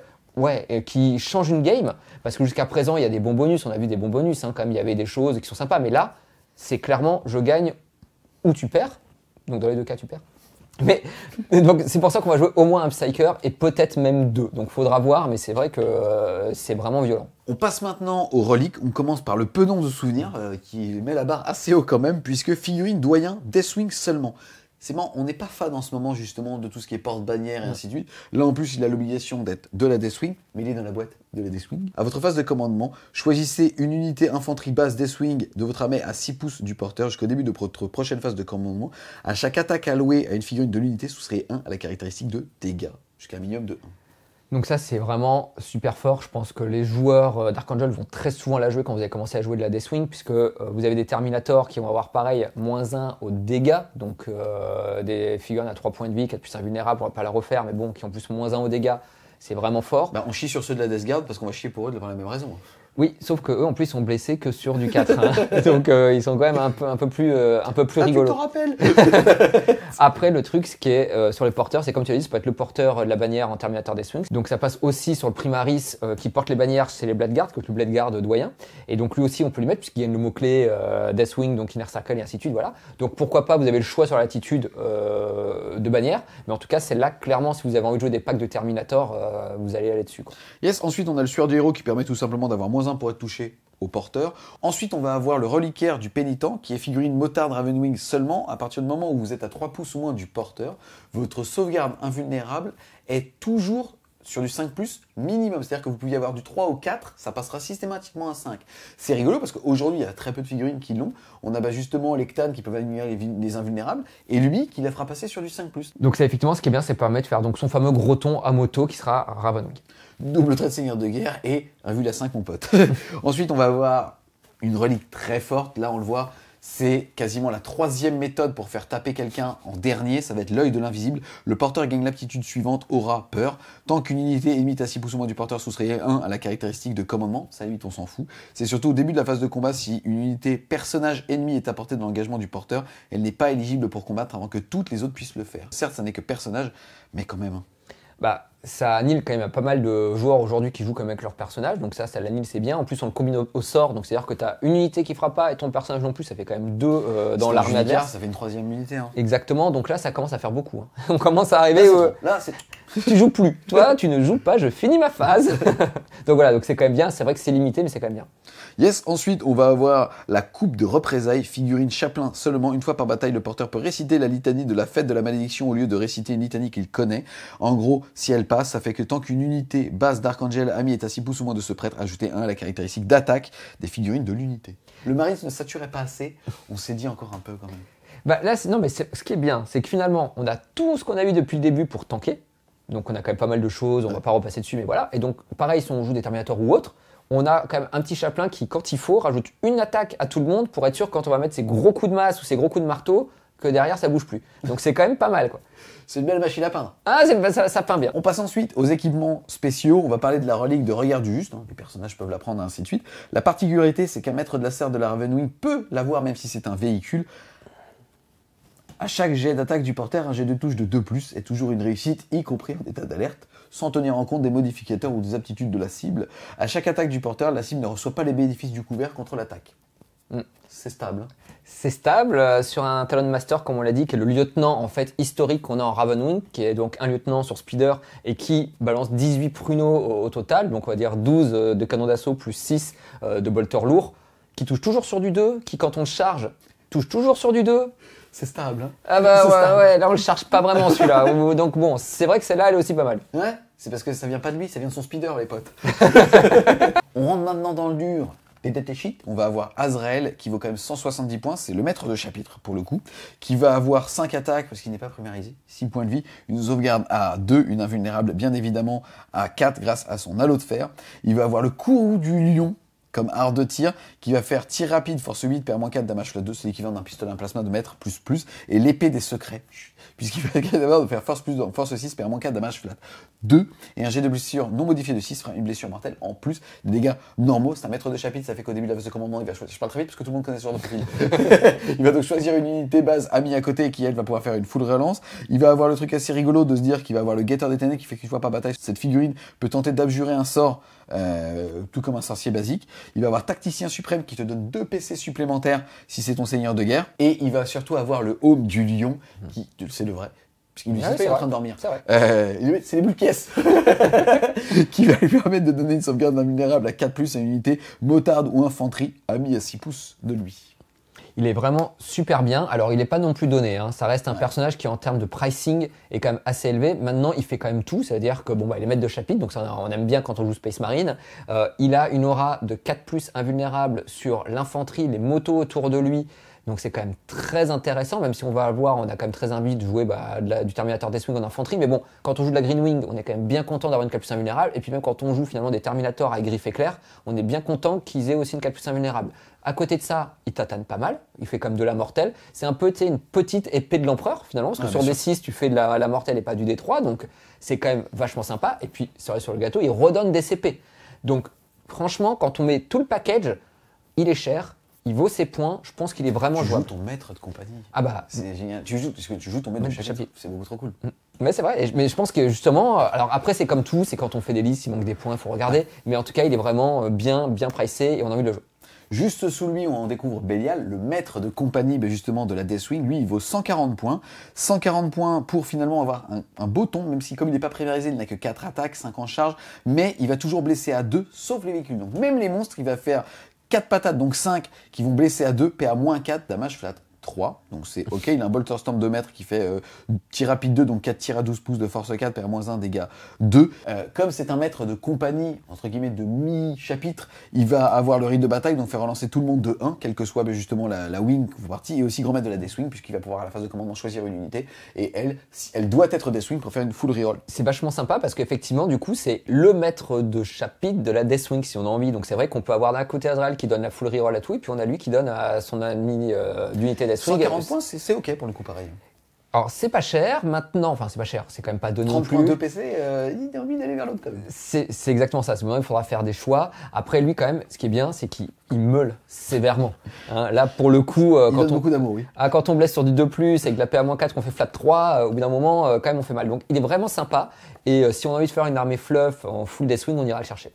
On continue bien évidemment avec Samel, qu'on aurait dû appeler Lorenzo Lamas, quel- quelque part. Donc Le rebelle. C'est, franchement, tu, mais direct, direct, tu le joues, je fais, il était flic, il faisait du bon travail, lui, tu le joues direct, il faut 150 points. Ce que je trouve, ok, je m'attendais à plus, euh, le connaissant personnellement, je m'attendais à ce qu'il il se soit mis plus cher. tu vois, Samel, il bouge de 15, il touche à 2 au corps à corps à 2 au tir, il est endurance 5 puisqu'il est motard, 8 PV, que 4 attaques, mais il a l'épée du corbeau qui fait que il fait force x2 le tour où il a chargé, il n'a pas de malus, donc il est force 8, perd moins 4, damage flat 2. Il est tir rapide 4 avec un bolter storm jumelé. Il a aussi un canon à plasma de mètre qui va faire des 3 tirs de force 8, perd moins 4, damage flat 2, déflagration. Pourquoi pas à la limite. Il a bien évidemment zigzag à l'eau de fer, grand maître de la Ravenwing, c'est-à-dire qu'il va pouvoir choisir une unité à la phase de commandement base et Ravenwing, ça marche sur lui puisque ça marche aussi sur les personnages et ça serait une full relance ou tout comme pour les autres les petits capitaines, c'est qu'il va aussi permettre de relancer les 1 à tout le monde de la Deathwing et enfin Turbo Boost quand il l'advance, il bouge automatiquement de 6 soit de 21 pouces au total. 150 points, c'est un petit peu le même problème que Azrael quoi. Voilà, c'est les deux. En fait, c'est le même problème. C'est que finalement, après, tu vas, tu vas comparer les coups. à Ce que tu vas dire, est-ce que tu veux un général générique ou est-ce que tu préfères avoir ton général Ouais. nommé Donc, très souvent, quand tu arrives dans ce genre de choix, tu as du mal à justifier le nommé Il parce se que. rapproche du lieutenant sur Speeder qu'on verra juste après. Exactement. Donc, je suis pas forcément. Et puis, aussi, ce qu'on ne dit pas, c'est que cette figurine, pour le coup, est vraiment vieillissante. Euh, pour la faire, la monter, et ainsi de suite, euh, c'est un peu une tannée. Donc, bon, il faut aussi le prendre parfois en compte. Euh, maintenant, objectivement, si on veut faire du fluff, on le joue, il est bien. Il est vraiment pas déconnant. Full Ravenwing, il est bien aussi. Ce qui est assez sympa, c'est que maintenant, il tire quand même ses tirs de plasma lourd sans surcharger, sans surchauffer, sans mourir potentiellement, comme Azrael ce qui est quand même bien, mais ce qui est un peu normal. Mais bon, pendant un moment, c'était pas le cas. Donc du coup, on sur- on- jamais on surchauffait avec euh, avec lui parce qu'on disait ah, avec le 1, je vais mourir. Donc du coup, là quand même, c'est quand même vachement mieux qu'ils ont enfin viré ces règles sur les personnages qui puissent se jouer tranquille. Donc voilà, si on a envie de la jouer, il est bien. En termes de pricing, il est ok. Maintenant, j'ai peur qu'on ait plutôt envie d'aller chercher parfois des personnages basiques ou tout simplement Azrael qui lui euh, apporte tout et en plus apporte des PC. Ezekiel, le maître archiviste des Dark Angel, lui il en connaît des choses. Je peux dire que Il en connaît des secrets. pour période, t'as Tigerius, et t'as juste lui derrière. Des fois, il appelle, il dit T'as des conseils? Il vaut 125 points. C'est un petit peu cher, mais il reste quand même assez badass justement pour un Librarian à pied. Malheureusement, il n'a pas été primarisé.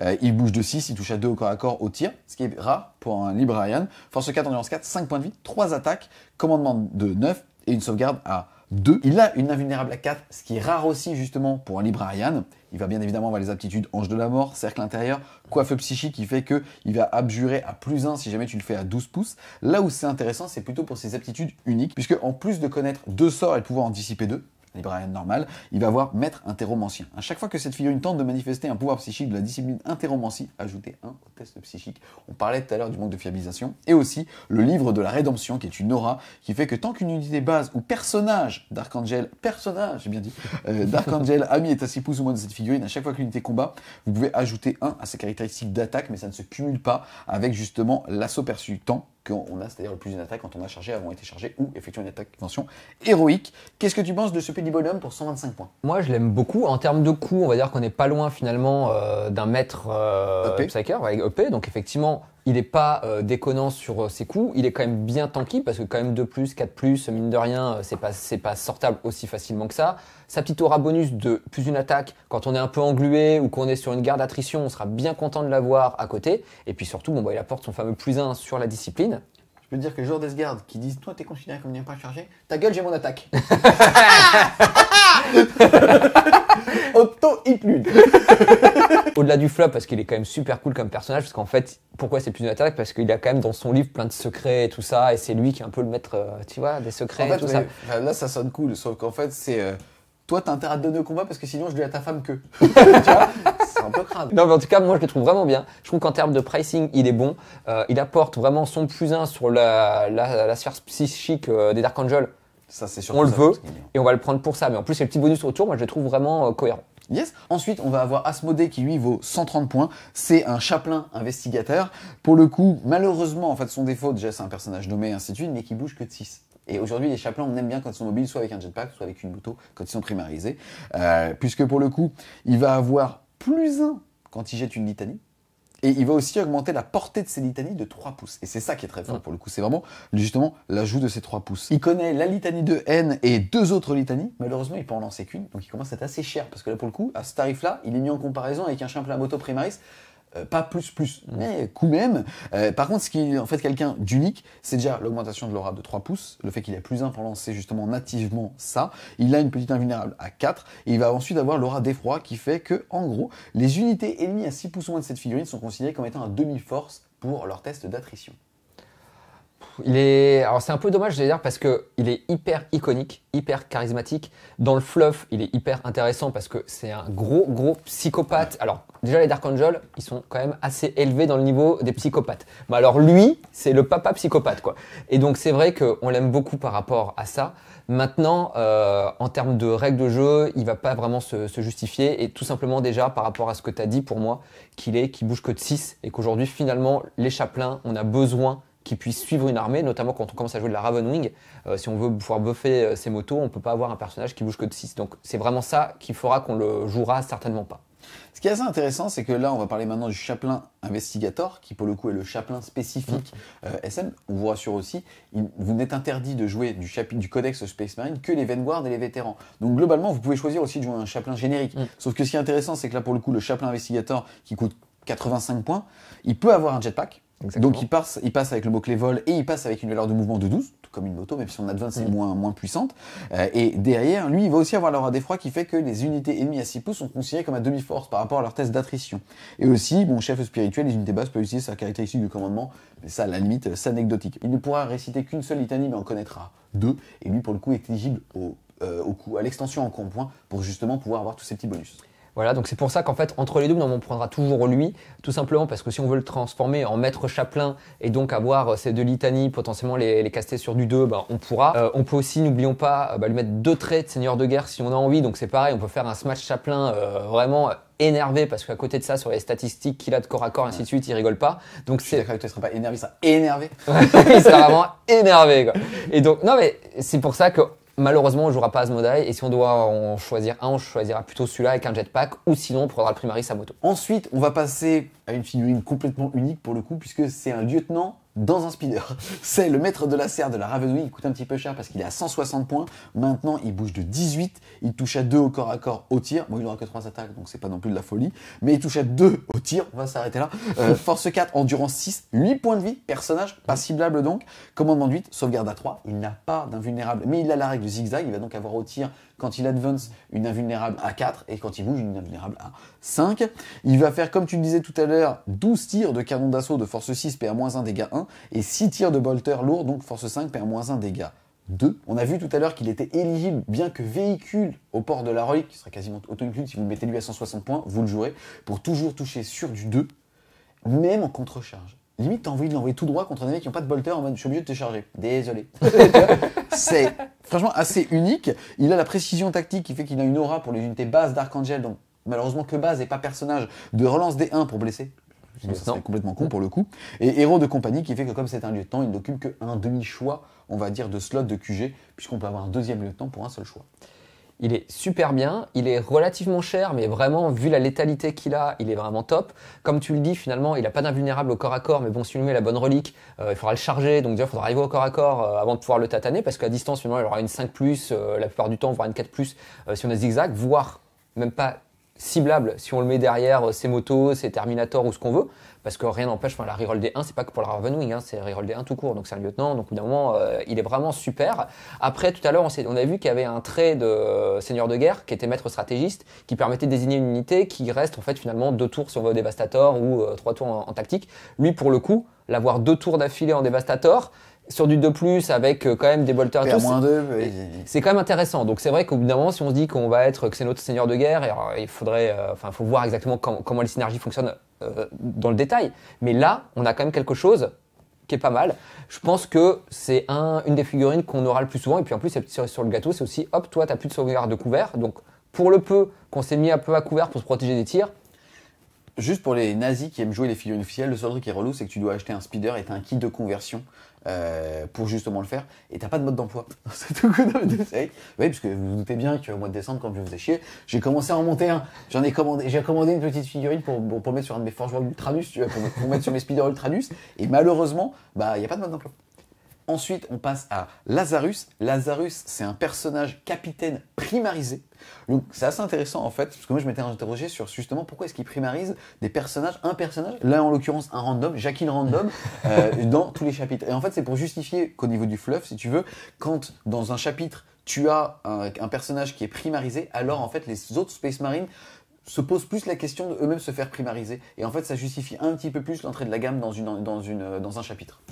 Lazarus, 110 points, c'est un capitaine, il bouge de 6, primarisé, il va donc avoir 6 PV, 5 attaques, commandement de 9, une sauvegarde à 3. Bien évidemment, il a un, un halo de fer, donc il a une invulnérable à 4. Au niveau de ses petites règles sympas, il va avoir une volonté inébranlable qui fait que s'il meurt, il va quand même pouvoir taper, même s'il était déjà activé à ce tour, mm. mais ça ne se cumule pas, et au stratagème qu'on a vu tout à l'heure qui faisait qu'il ne mourrait pas, mm. et aussi, mais justement, avec seule la mort met fin au devoir, qui fait qu'il ne pourrait pas taper trois fois. Euh, au niveau justement de son arsenal, il va avoir une épée qui est le fil de l'hostilité, qui va faire force plus 2, PA moins 4, damage flat 2, et si jamais on tape un Seeker, c'est damage flat 4. Maintenant, est-ce que 110 points, c'est pas très, voire trop cher pour un piéton capitaine? Moi, je trouve effectivement euh, trop cher, surtout que les règles qu'il apporte finalement, c'est encore c'est dans le type 6, assez spécifique. C'est-à-dire quand on frappe sur du Psyker, on fait plus mal, et on a une aura qui permet d'ignorer les mortels sur du 5+. Donc c'est quand même assez spécifique. Maintenant aussi, ce qu'il faut voir, c'est qu'aujourd'hui, on a une armée qui est ultra tanky, qui a beaucoup de règles qui se stack, qui permet euh, donc justement de résister, on va dire, aux attaques classiques ou normales, et on est très vulnérable finalement à la mortelle. Donc si demain on commence à se tourner vers un méta où il y a beaucoup d'armées qui commencent à vouloir jouer autour des psys pour pouvoir justement bah, sortir ces unités-là qui sont très dur à, sortir de façon normale, peut-être qu'on se dira, non seulement je joue ça et je joue forcément mon 110 points, ok c'est un peu cher, mais du coup le contre naturel de mon armée, bah, je le mets un peu dans le vent parce que j'ai quand même malgré tout ma 5+. Donc faudra voir, moi je trouve qu'il est trop cher, je trouve qu'il est trop spécifique. Maintenant peut-être qu'il y aura des joueurs qui ont envie de le jouer parce que dans un méta particulier... Il est égoïste en plus. il pense qu'à lui. Et puis bon, moi après, c'est ce que je te disais, ce que je trouve toujours un peu dommage. Alors peut-être que dans le fluff, ça justifie que euh, Joe le pipou, euh, il arrive et puis qu'il est devenu un primaris. Mais en réalité, moi j'aurais quand même préféré que Games Workshop me primarise. Bélial, bordel de cul. Bah Bélial, Azrael, euh, Ézéchiel, enfin peu importe en fait. Mais il y en a plein qui aujourd'hui sont un peu vieillissants et on se dit attendez, enfin c'est un, voilà, c'est un peu dommage. Maintenant, c'est le choix, c'est comme ça, c'est pas grave, mais c'est vrai que bon, moi, j'ai un peu mauvaise. On enchaîne ensuite avec deux profils un petit peu décevants. On va avoir le maître de la frappe de la Deathwing, c'est ni plus ni moins qu'un lieutenant en armure Terminator directement de la Deathwing avec la règle cercle intérieur, euh, qui lui coûte 95 points. Donc malheureusement, alors 95 points c'est moins que 160, certes, mais quand t'as un mec qui bouge de 18, qui met 18 tirs sur du 2+, et pareil en contre-charge, qui est le maître de la serre de la Ravenwing, qui en plus de ça est éligible à être de la première compagnie, puisque pour le coup, comme il est ou cercle intérieur, il casse pas justement cette règle-là. Donc on s'interroge un petit peu sur lui, c'était que petit format, si on n'a pas trop de, de, de, de- de points, mais même en fait en petit format, on préfère à lui comme un QG ton euh, de tir. C'est ça, euh, pour moi en fait, alors effectivement si on n'a pas beaucoup de temps, peut-être qu'on va préférer l'autre, c'est là pour moi la petite déception en fait, c'est qu'on nous sort un nouveau euh, personnage qui n'existait pas jusqu'à présent, le, ce fameux lieutenant spécifique à la Deathwing, et finalement on se dit qu'on va le jouer assez rarement, parce qu'on va toujours préférer finalement prendre euh, d'autres personnages qui ont le mot-clé Inner Circle et qui vont pas casser son détachement Deathwing pour qu'on ait toujours ton Terminator qui soit super OP. Donc finalement, si on a besoin de points, peut-être qu'on le jouera, mais vu que quand même l'autre lieutenant de la Ravenwing, il est quand même très fort, je pense qu'on trouvera plutôt des points pour rentrer l'autre, et puis bah celui-là, il passera la trappe. On enchaîne dans les choix d'élite maintenant et petite déception quand même puisqu'en fait on arrive sur l'apothicaire de la Deathwing. Il vaut 100 points. Il est cercle intérieur et Deathwing. Donc tu vas dire si je joue Deathwing, je vais jouer ce bonhomme. Et on va le mettre en, en opposition directement avec l'apothicaire de la Ravenwing qui lui aussi est en élite et qui lui aussi vaut 100 points. D'accord? Sauf que l'autre qui a une meilleure audience, certes, pas une sauvegarde à deux, mais une meilleure projection, un plus gros socle aussi, eh ben, est cercle intérieur. Donc peut être intégré à un détachement de la première compagnie. Donc, on le rappelle, ici, on va avoir justement un apothicaire, c'est-à-dire qui va être capable de relever une figurine, alors, dans ce codex supplément français-anglais, à 6 pouces. Normalement, c'est 3 pouces pour les apothicaires. À voir si c'est une coquille ou si les apothicaires des Dark Angel, comme Première Légion, sont meilleurs. On ne sait pas. Le fait est quand même qu'il y a un paradoxe ici. Bah, tu l'as très bien dit. Alors après, est-ce que ça va être faqué? Est-ce qu'il va y avoir quelque chose qui va dire que finalement, effectivement, dans un détachement euh, qui était prévu pour la première compagnie à Deathwing, les personnages qui vont être dedans doivent être aussi de la Deathwing et pas seulement Inner Circle? Je suis pas sûr. Mais aujourd'hui, quand on joue comme ça, quand on compare les deux, même coup en point avec une figurine qui peut bouger euh, de 14 euh, et ainsi de plus advance, pour aller réviser ou se mettre à côté du pack qu'on préfère, clairement, on choisira toujours la mobilité. Donc c'est vrai que celui-là, malheureusement, pense qu'on ne le jouera pas. Et puis après, sur cette histoire de 6 pouces, euh, bon, bah, on verra, pareil, il y aura une fac ou pas pour nous dire si c'est volontaire. Si c'est le cas, on comprend pas forcément pourquoi, mais tant mieux pour le Dark Angel. Et si c'est pas le cas, bon, bah voilà, ça reviendra comme tout le monde. On enchaîne ensuite avec les escouades de Terminator de la Deathwing. Malheureusement, ils vont être un petit peu mis en compétition avec les chevaliers de la Deathwing, on va venir juste après. Là, en tout cas, c'est Golden, c'est jouable de 5 à 10. C'est bien évidemment de base en cercle intérieur, donc blessé que sur du 4, 5, 6 et jamais en dessous. C'est bien évidemment passé à 3 points de vie, puisque refond de Terminator, tout ça, tout ça, tout ça.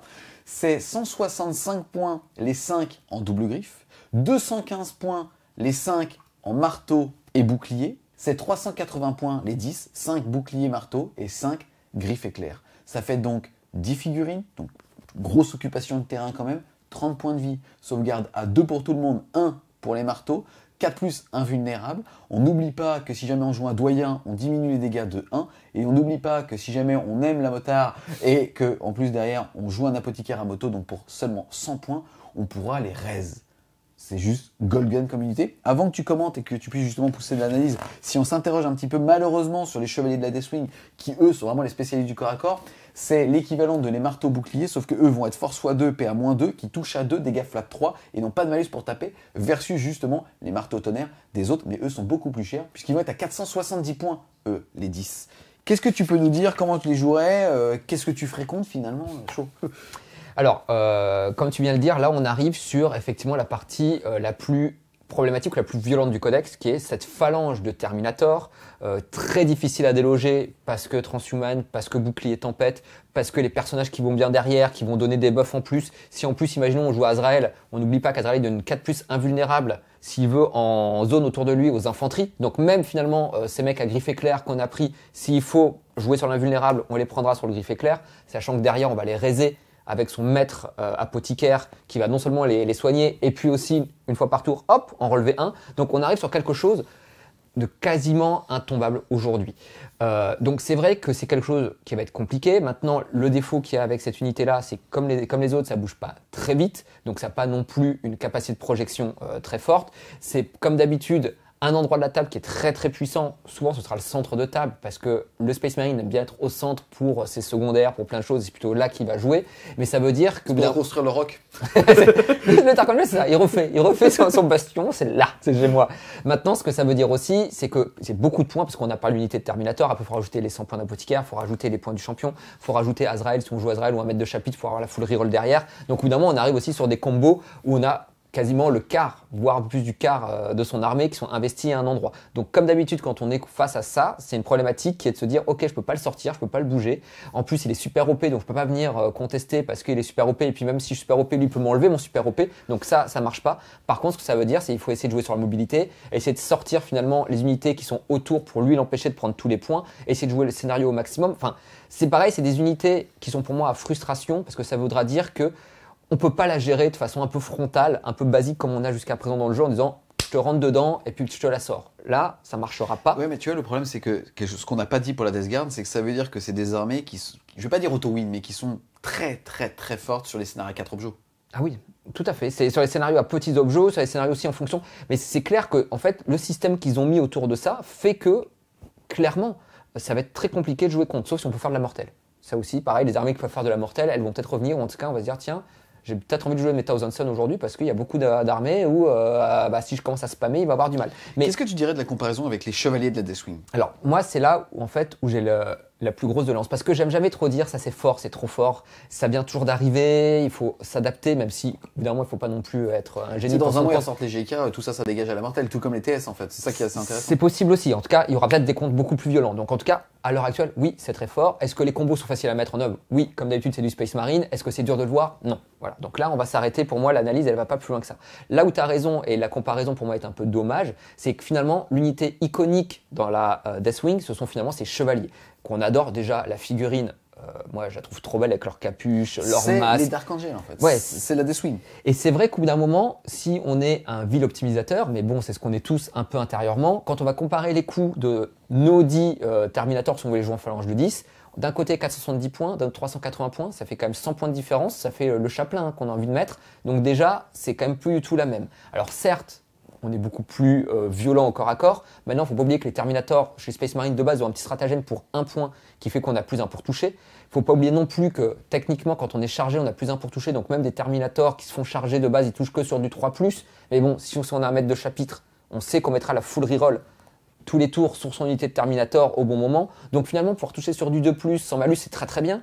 C'est vrai que c'est beaucoup plus létal, mais c'est pas nécessaire. Parce qu'en réalité, ce qui est vraiment bien dans l'armée, c'est le tanking. Et l'unité n'apporte pas plus de tanking qu'une unité Terminator de base. Donc c'est là où moi j'ai la petite frustration, c'est que j'aurais préféré que la règle finalement de Transhuman, elle soit finalement que sur ces super unités euh, qu'on a dans le chapitre, se dire bah voilà, quand tu joues euh, des unités Terminator dans le bon détachement, ils sont super OP, c'est déjà cool d'avoir des unités Terminator super OP et c'est tout. Mais par contre, si en plus toi tu joues euh, tes unités iconiques, eux ils ont Transhuman et ils sont super OP. Parce que là, Donc on parle Terminators, mais finalement, le méta Blade Guard, c'est le même. Puisqu'en Oui. fait, en gros, les Blade Guard étant avec des boucliers, ils sont en sauvegarde à 2. Ils passent de 3 à 2. Ils sont pas en 1 plus, Mm. c'est vrai. Mais le fait est quand même qu'eux, ils tatanent tout autant pour des gars qui tankent tout autant que l'ensemble de l'unité. Mais ils sont pas super OP parce qu'ils ont pas cette Ouais. là. Donc c'est peut-être pour ça que tu iras pas forcément chercher du Blade Guard, tu iras plutôt sur du Terminator. Voilà, donc en fait, moi la seule doléance c'est que j'ai là-dessus, enfin que je trouve un peu dommage, c'est que moi cette règle en tout cas de transhumain, j'aurais peut-être mise que sur ces unités iconiques pour les voir parce que j'ai peur qu'aujourd'hui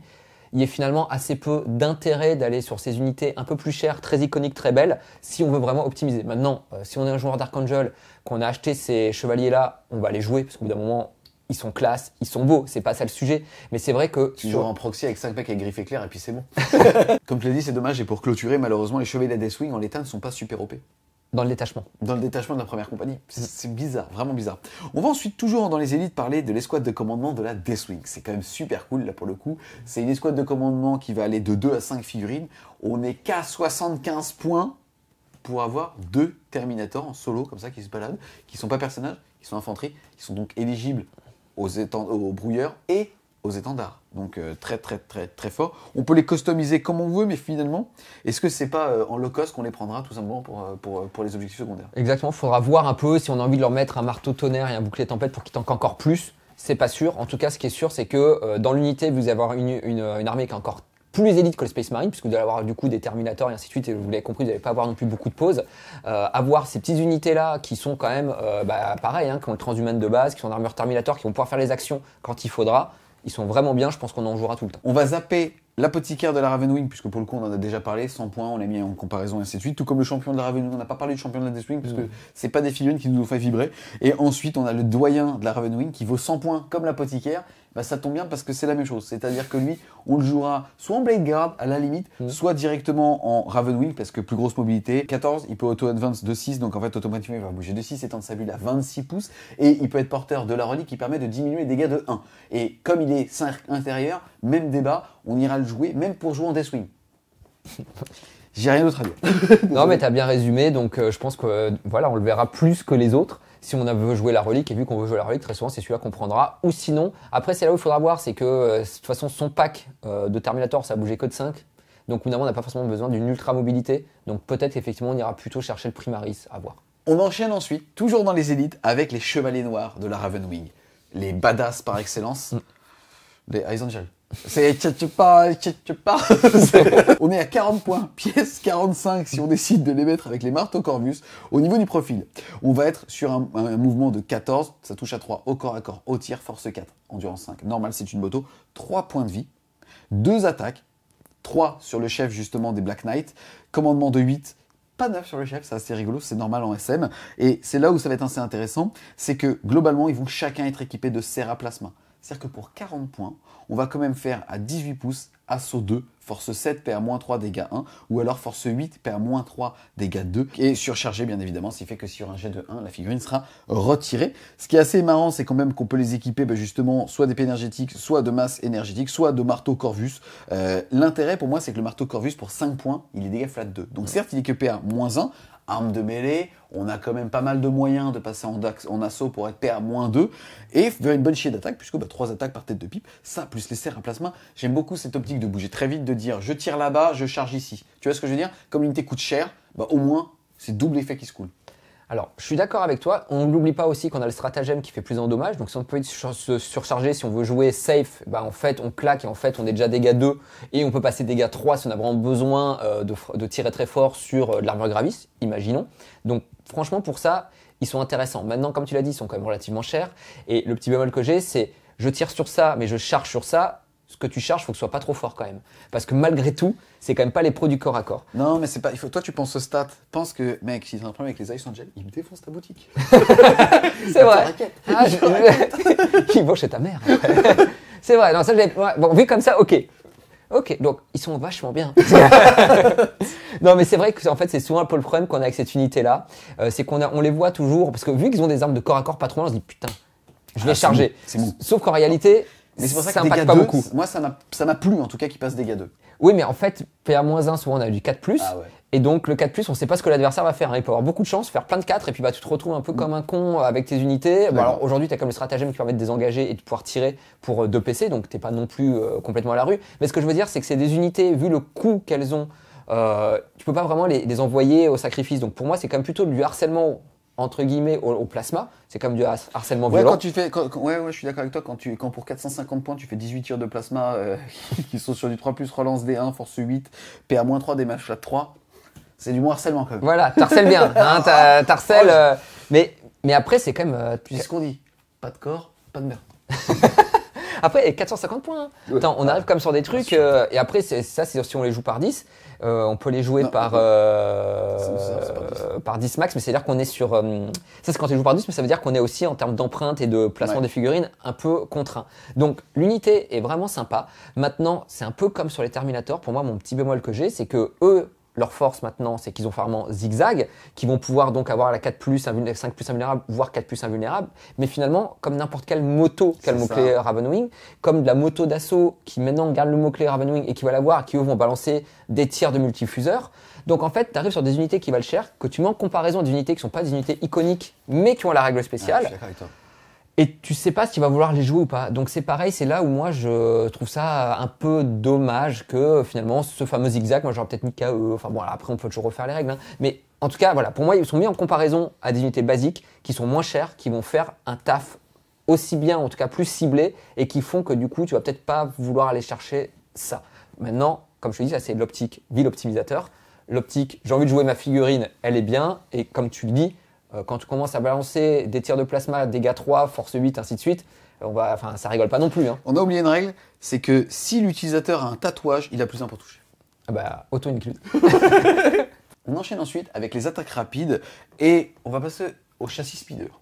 On va avoir le Dark Shroud de la Ravenwing qui vaut 130 points. Il bouge de 12, donc c'est pas comme un speeder.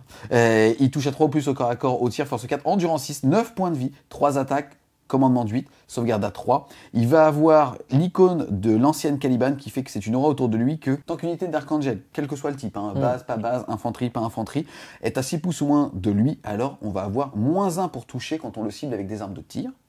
Et aussi en termes de létalité, le fait d'avoir un canon d'assaut qui fait 6 tirs de force 6 PA-1 dégâts 1 et un bolter lourd pour faire 3 tirs de force 5 PA-1 dégâts 2. Je rappelle 130 points. Il est alors, il est pas trop mal, honnêtement. Après, euh, c'est comme tout, on doit toujours faire des choix. Maintenant, celui-là, le petit moins 1 pour être touché, quand on a en plus une 5 plus invulnérable ou une 4 plus invulnérable, quand on va jouer une armée, on va dire thématique Ravenwing, on va tout le temps le prendre. Parce que là, pour le coup, on commence à avoir des motos qui commencent à vraiment beaucoup mieux tanker et à être très intéressantes. C'est à portée de 6 pouces, c'est pas entièrement. Donc c'est vrai qu'en fait, vu la taille des gélules, puisqu'on est sur les socles gélules pour les motos, c'est vrai que ça commence à être assez intéressant. Par contre, attention, on mesure depuis le socle et pas depuis la figurine, même si ça serait tentant sur ce genre de modèle. Donc voilà, moi je pense que en fait, c'est vraiment la figurine qu'on va jouer si on joue thématique Ravenwing et qu'on va peut-être pas jouer si on commence à jouer d'autres unités euh, dans l'armée. On va ensuite passer à un Landspeeder Vengeance de la Ravenwing, lui très très très séduisant. Hein. Pour le coup, pas très solide, puisque même profil, c'est-à-dire sa bouche de 12, c'était 3 3 force 4, endurance 6, 9 points de vie, 3 attaques, commandement de 8, sauvegarde à 3, 120 points le garçon, mm. c'est pas cher du tout. Il va avoir un bolter lourd à ce prix-là, donc 3 tirs de force 5, pr 1 dégâts 2, et surtout la batterie Plasma Storm qui fait qu'on va pouvoir choisir le profil. On va faire 2 des 3 tirs, soit de force 8, pr 3, dégâts flat 2 en déflagration, soit 2 des 3 tirs de force 9, pr 3, damage flat 3, qu'on peut avec le stratagème passer damage flat 4. Là, là on cause quand même, mm. clairement. C'est même les Terminators euh, de la Death Guard, ils vont sauter comme ça. Hein. Et toujours à déflagration. La contrepartie, c'est surchargé. Dès qu'on fait un 1, on va prendre une petite blessure mortelle. Mais je le rappelle, 120 points. Moi, je le trouve vraiment assez sympa pour ça. Pour le coup, c'était un speeder qu'on voyait assez peu jusqu'à présent, euh, parce qu'il est toujours en comparant avec le Dash Shroud, c'est le même kit, et donc la plupart du temps, on faisait un Dash Shroud pour avoir le moins 1 qui, à, l'époque, marchait sur tous les véhicules, ainsi de suite, donc c'est vrai qu'on le prenait tout le temps. Là, pour le coup, pour, avec le stratagème et la violence qu'il peut apporter, et comme tu le dis, euh, du flat 4, même avec du moins 1, ça passe, ça reste à du flat 3. C'est-à-dire quand on a un adversaire, au bout d'un moment qui commence à manquer ses sauvegardes invulnérables et tout, bah, il fait péter euh, de gros, gros euh, figurines intéressantes. Moi, je le trouve vraiment pas mal. Et puis sinon, si ça peut être surchargé, tu peux toujours le garder à flat, entre guillemets, non surchargé pour pas prendre de mortel, et le passer dégâts 3 avec le stratagème pour être tranquille et quand même pouvoir sortir du gravis. Donc, franchement, il est pas déconnant.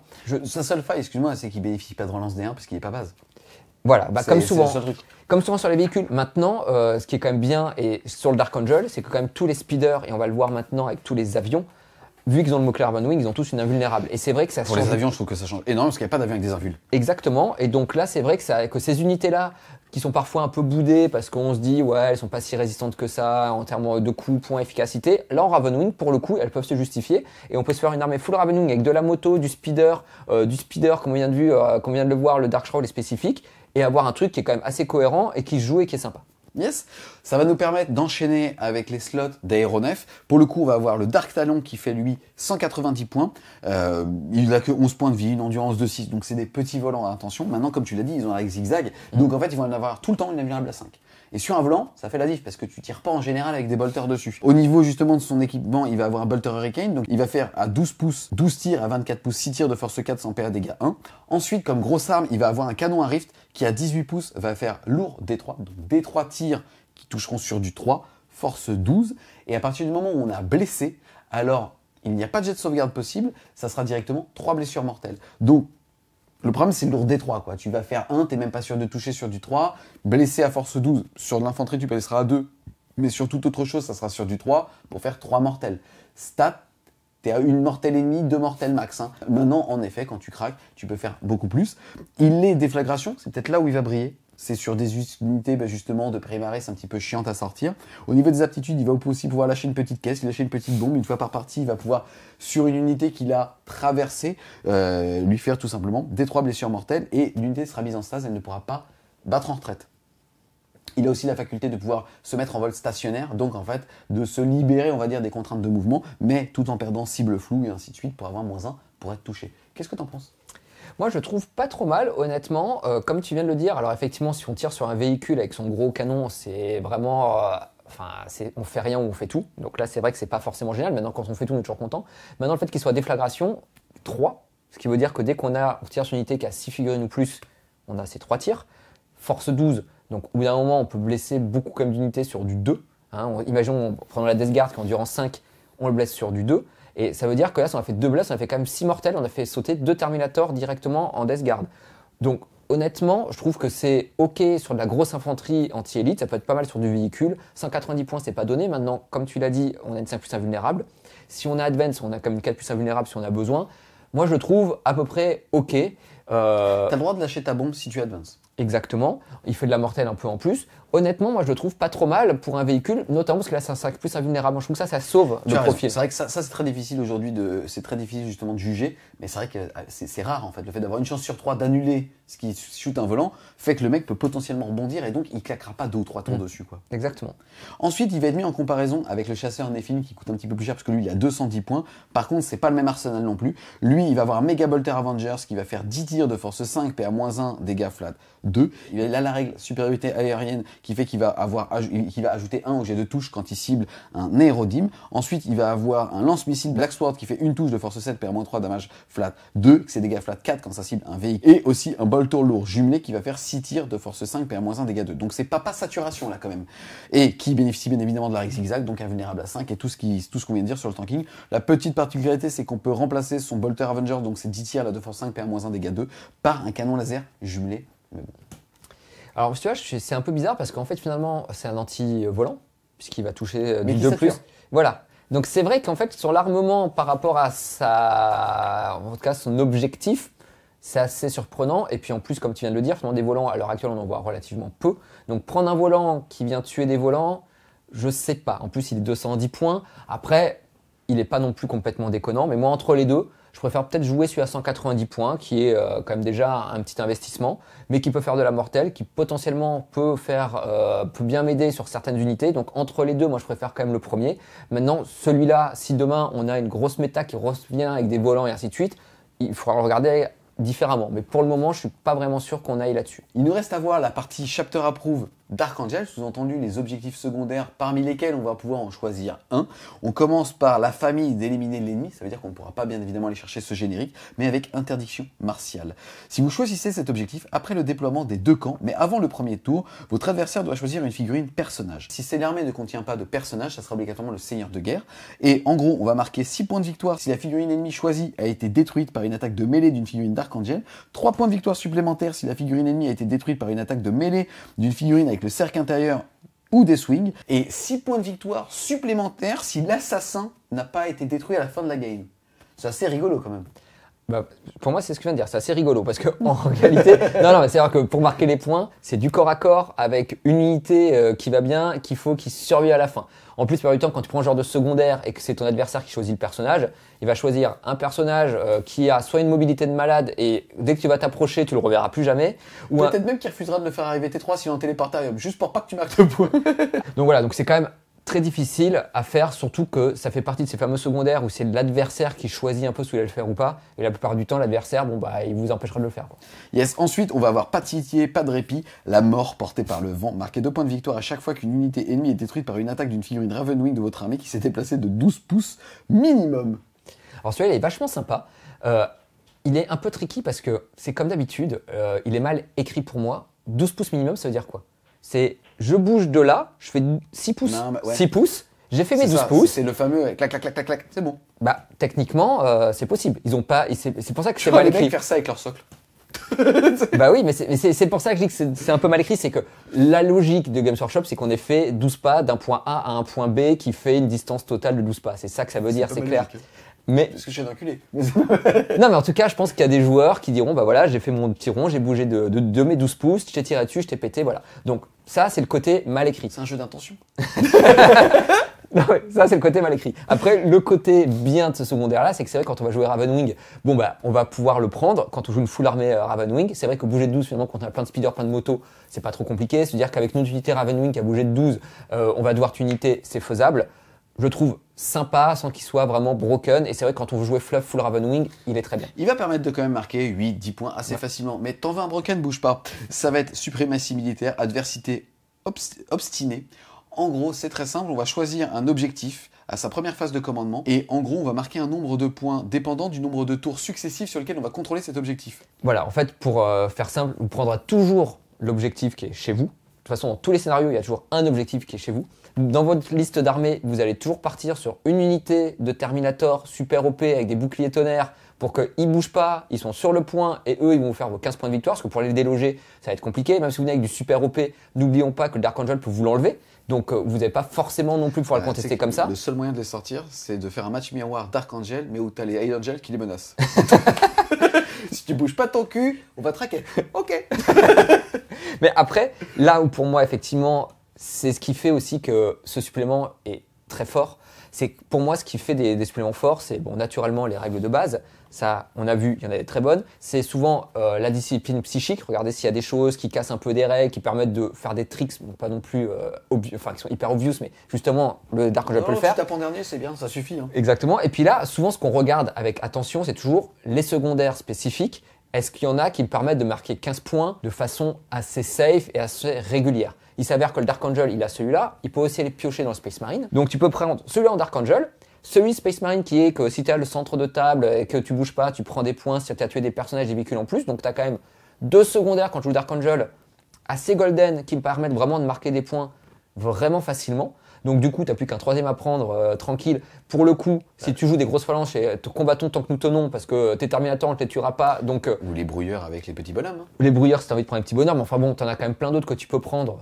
Où tu sais que tu vas aussi marquer, euh, euh, je reprends combattant tant que nous tenons, mais ta phalange, tu vas pas la perdre, tu auras au moins 5 points là-dessus. Avec un peu de chance, si tu as une autre unité que tu as pris et qui va prendre, tu vas à mettre 10. 35 sur des secondaires, c'est golden. hein. Ah bah là pour perdre, il faut vraiment que derrière euh, sur les primaires, euh, tu te sois fait enfoncer au primaire et que le mec adverse il, a- il est voilà, il est vraiment bien joué. Donc c'est là où pour moi euh, je vais dire que ça peut créer entre guillemets des frustrations, c'est que tu as des choses qui sont trop faciles à mettre en œuvre, qui sont vraiment impactantes sur la partie et qui vont te donner un avantage vraiment très fort sur l'adversaire. C'est vrai que bah, globalement, les synergies sont assez facilement visibles. Il y en aura certainement des plus complexes et qui seront vues demain, mais ça ne demande pas non plus une rigueur de mise en place qui est gratifiante à jouer.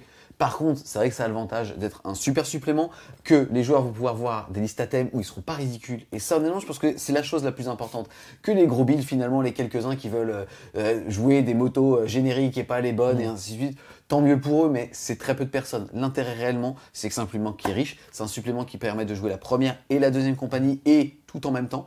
Et donc globalement, c'est un super boulot. Il y a un ADN très fort justement qui sort des Dark Angel, qui est en elle-même un, un des chapitres très forts en fait au sein justement du fleuve de Warhammer 40 000. Et pour ça, c'est que du bonus. En tout cas, un grand merci à toi bah, justement d'être venu pour connaître un peu le secret de- des rêveurs, de cet enfoiré de rêveur. hein, putain, on aurait pu avoir un Marc, il a préféré, il a préféré dormir. On l'appelle le ronfleur. Ah, c'est son surnom. En tout cas, on espère clairement que vous avez aimé la vidéo. C'est le cas, n'hésitez pas à mettre un gros pouce bleu dessus, un petit coup de gaz. Un petit coup de gaz dessus. Euh, De quel gaz de- Non, non, Ah. putain, je parle d'accès. J'ai pas arrêté de faire les blagues avec le codex Desgard. C'est de ma faute. si vous voulez continuer de supporter French War Game Studio, n'hésitez pas à aller faire un tour sur son Tipeee. Le lien sera en description. Et nous, on vous dit A plus les Wargamers.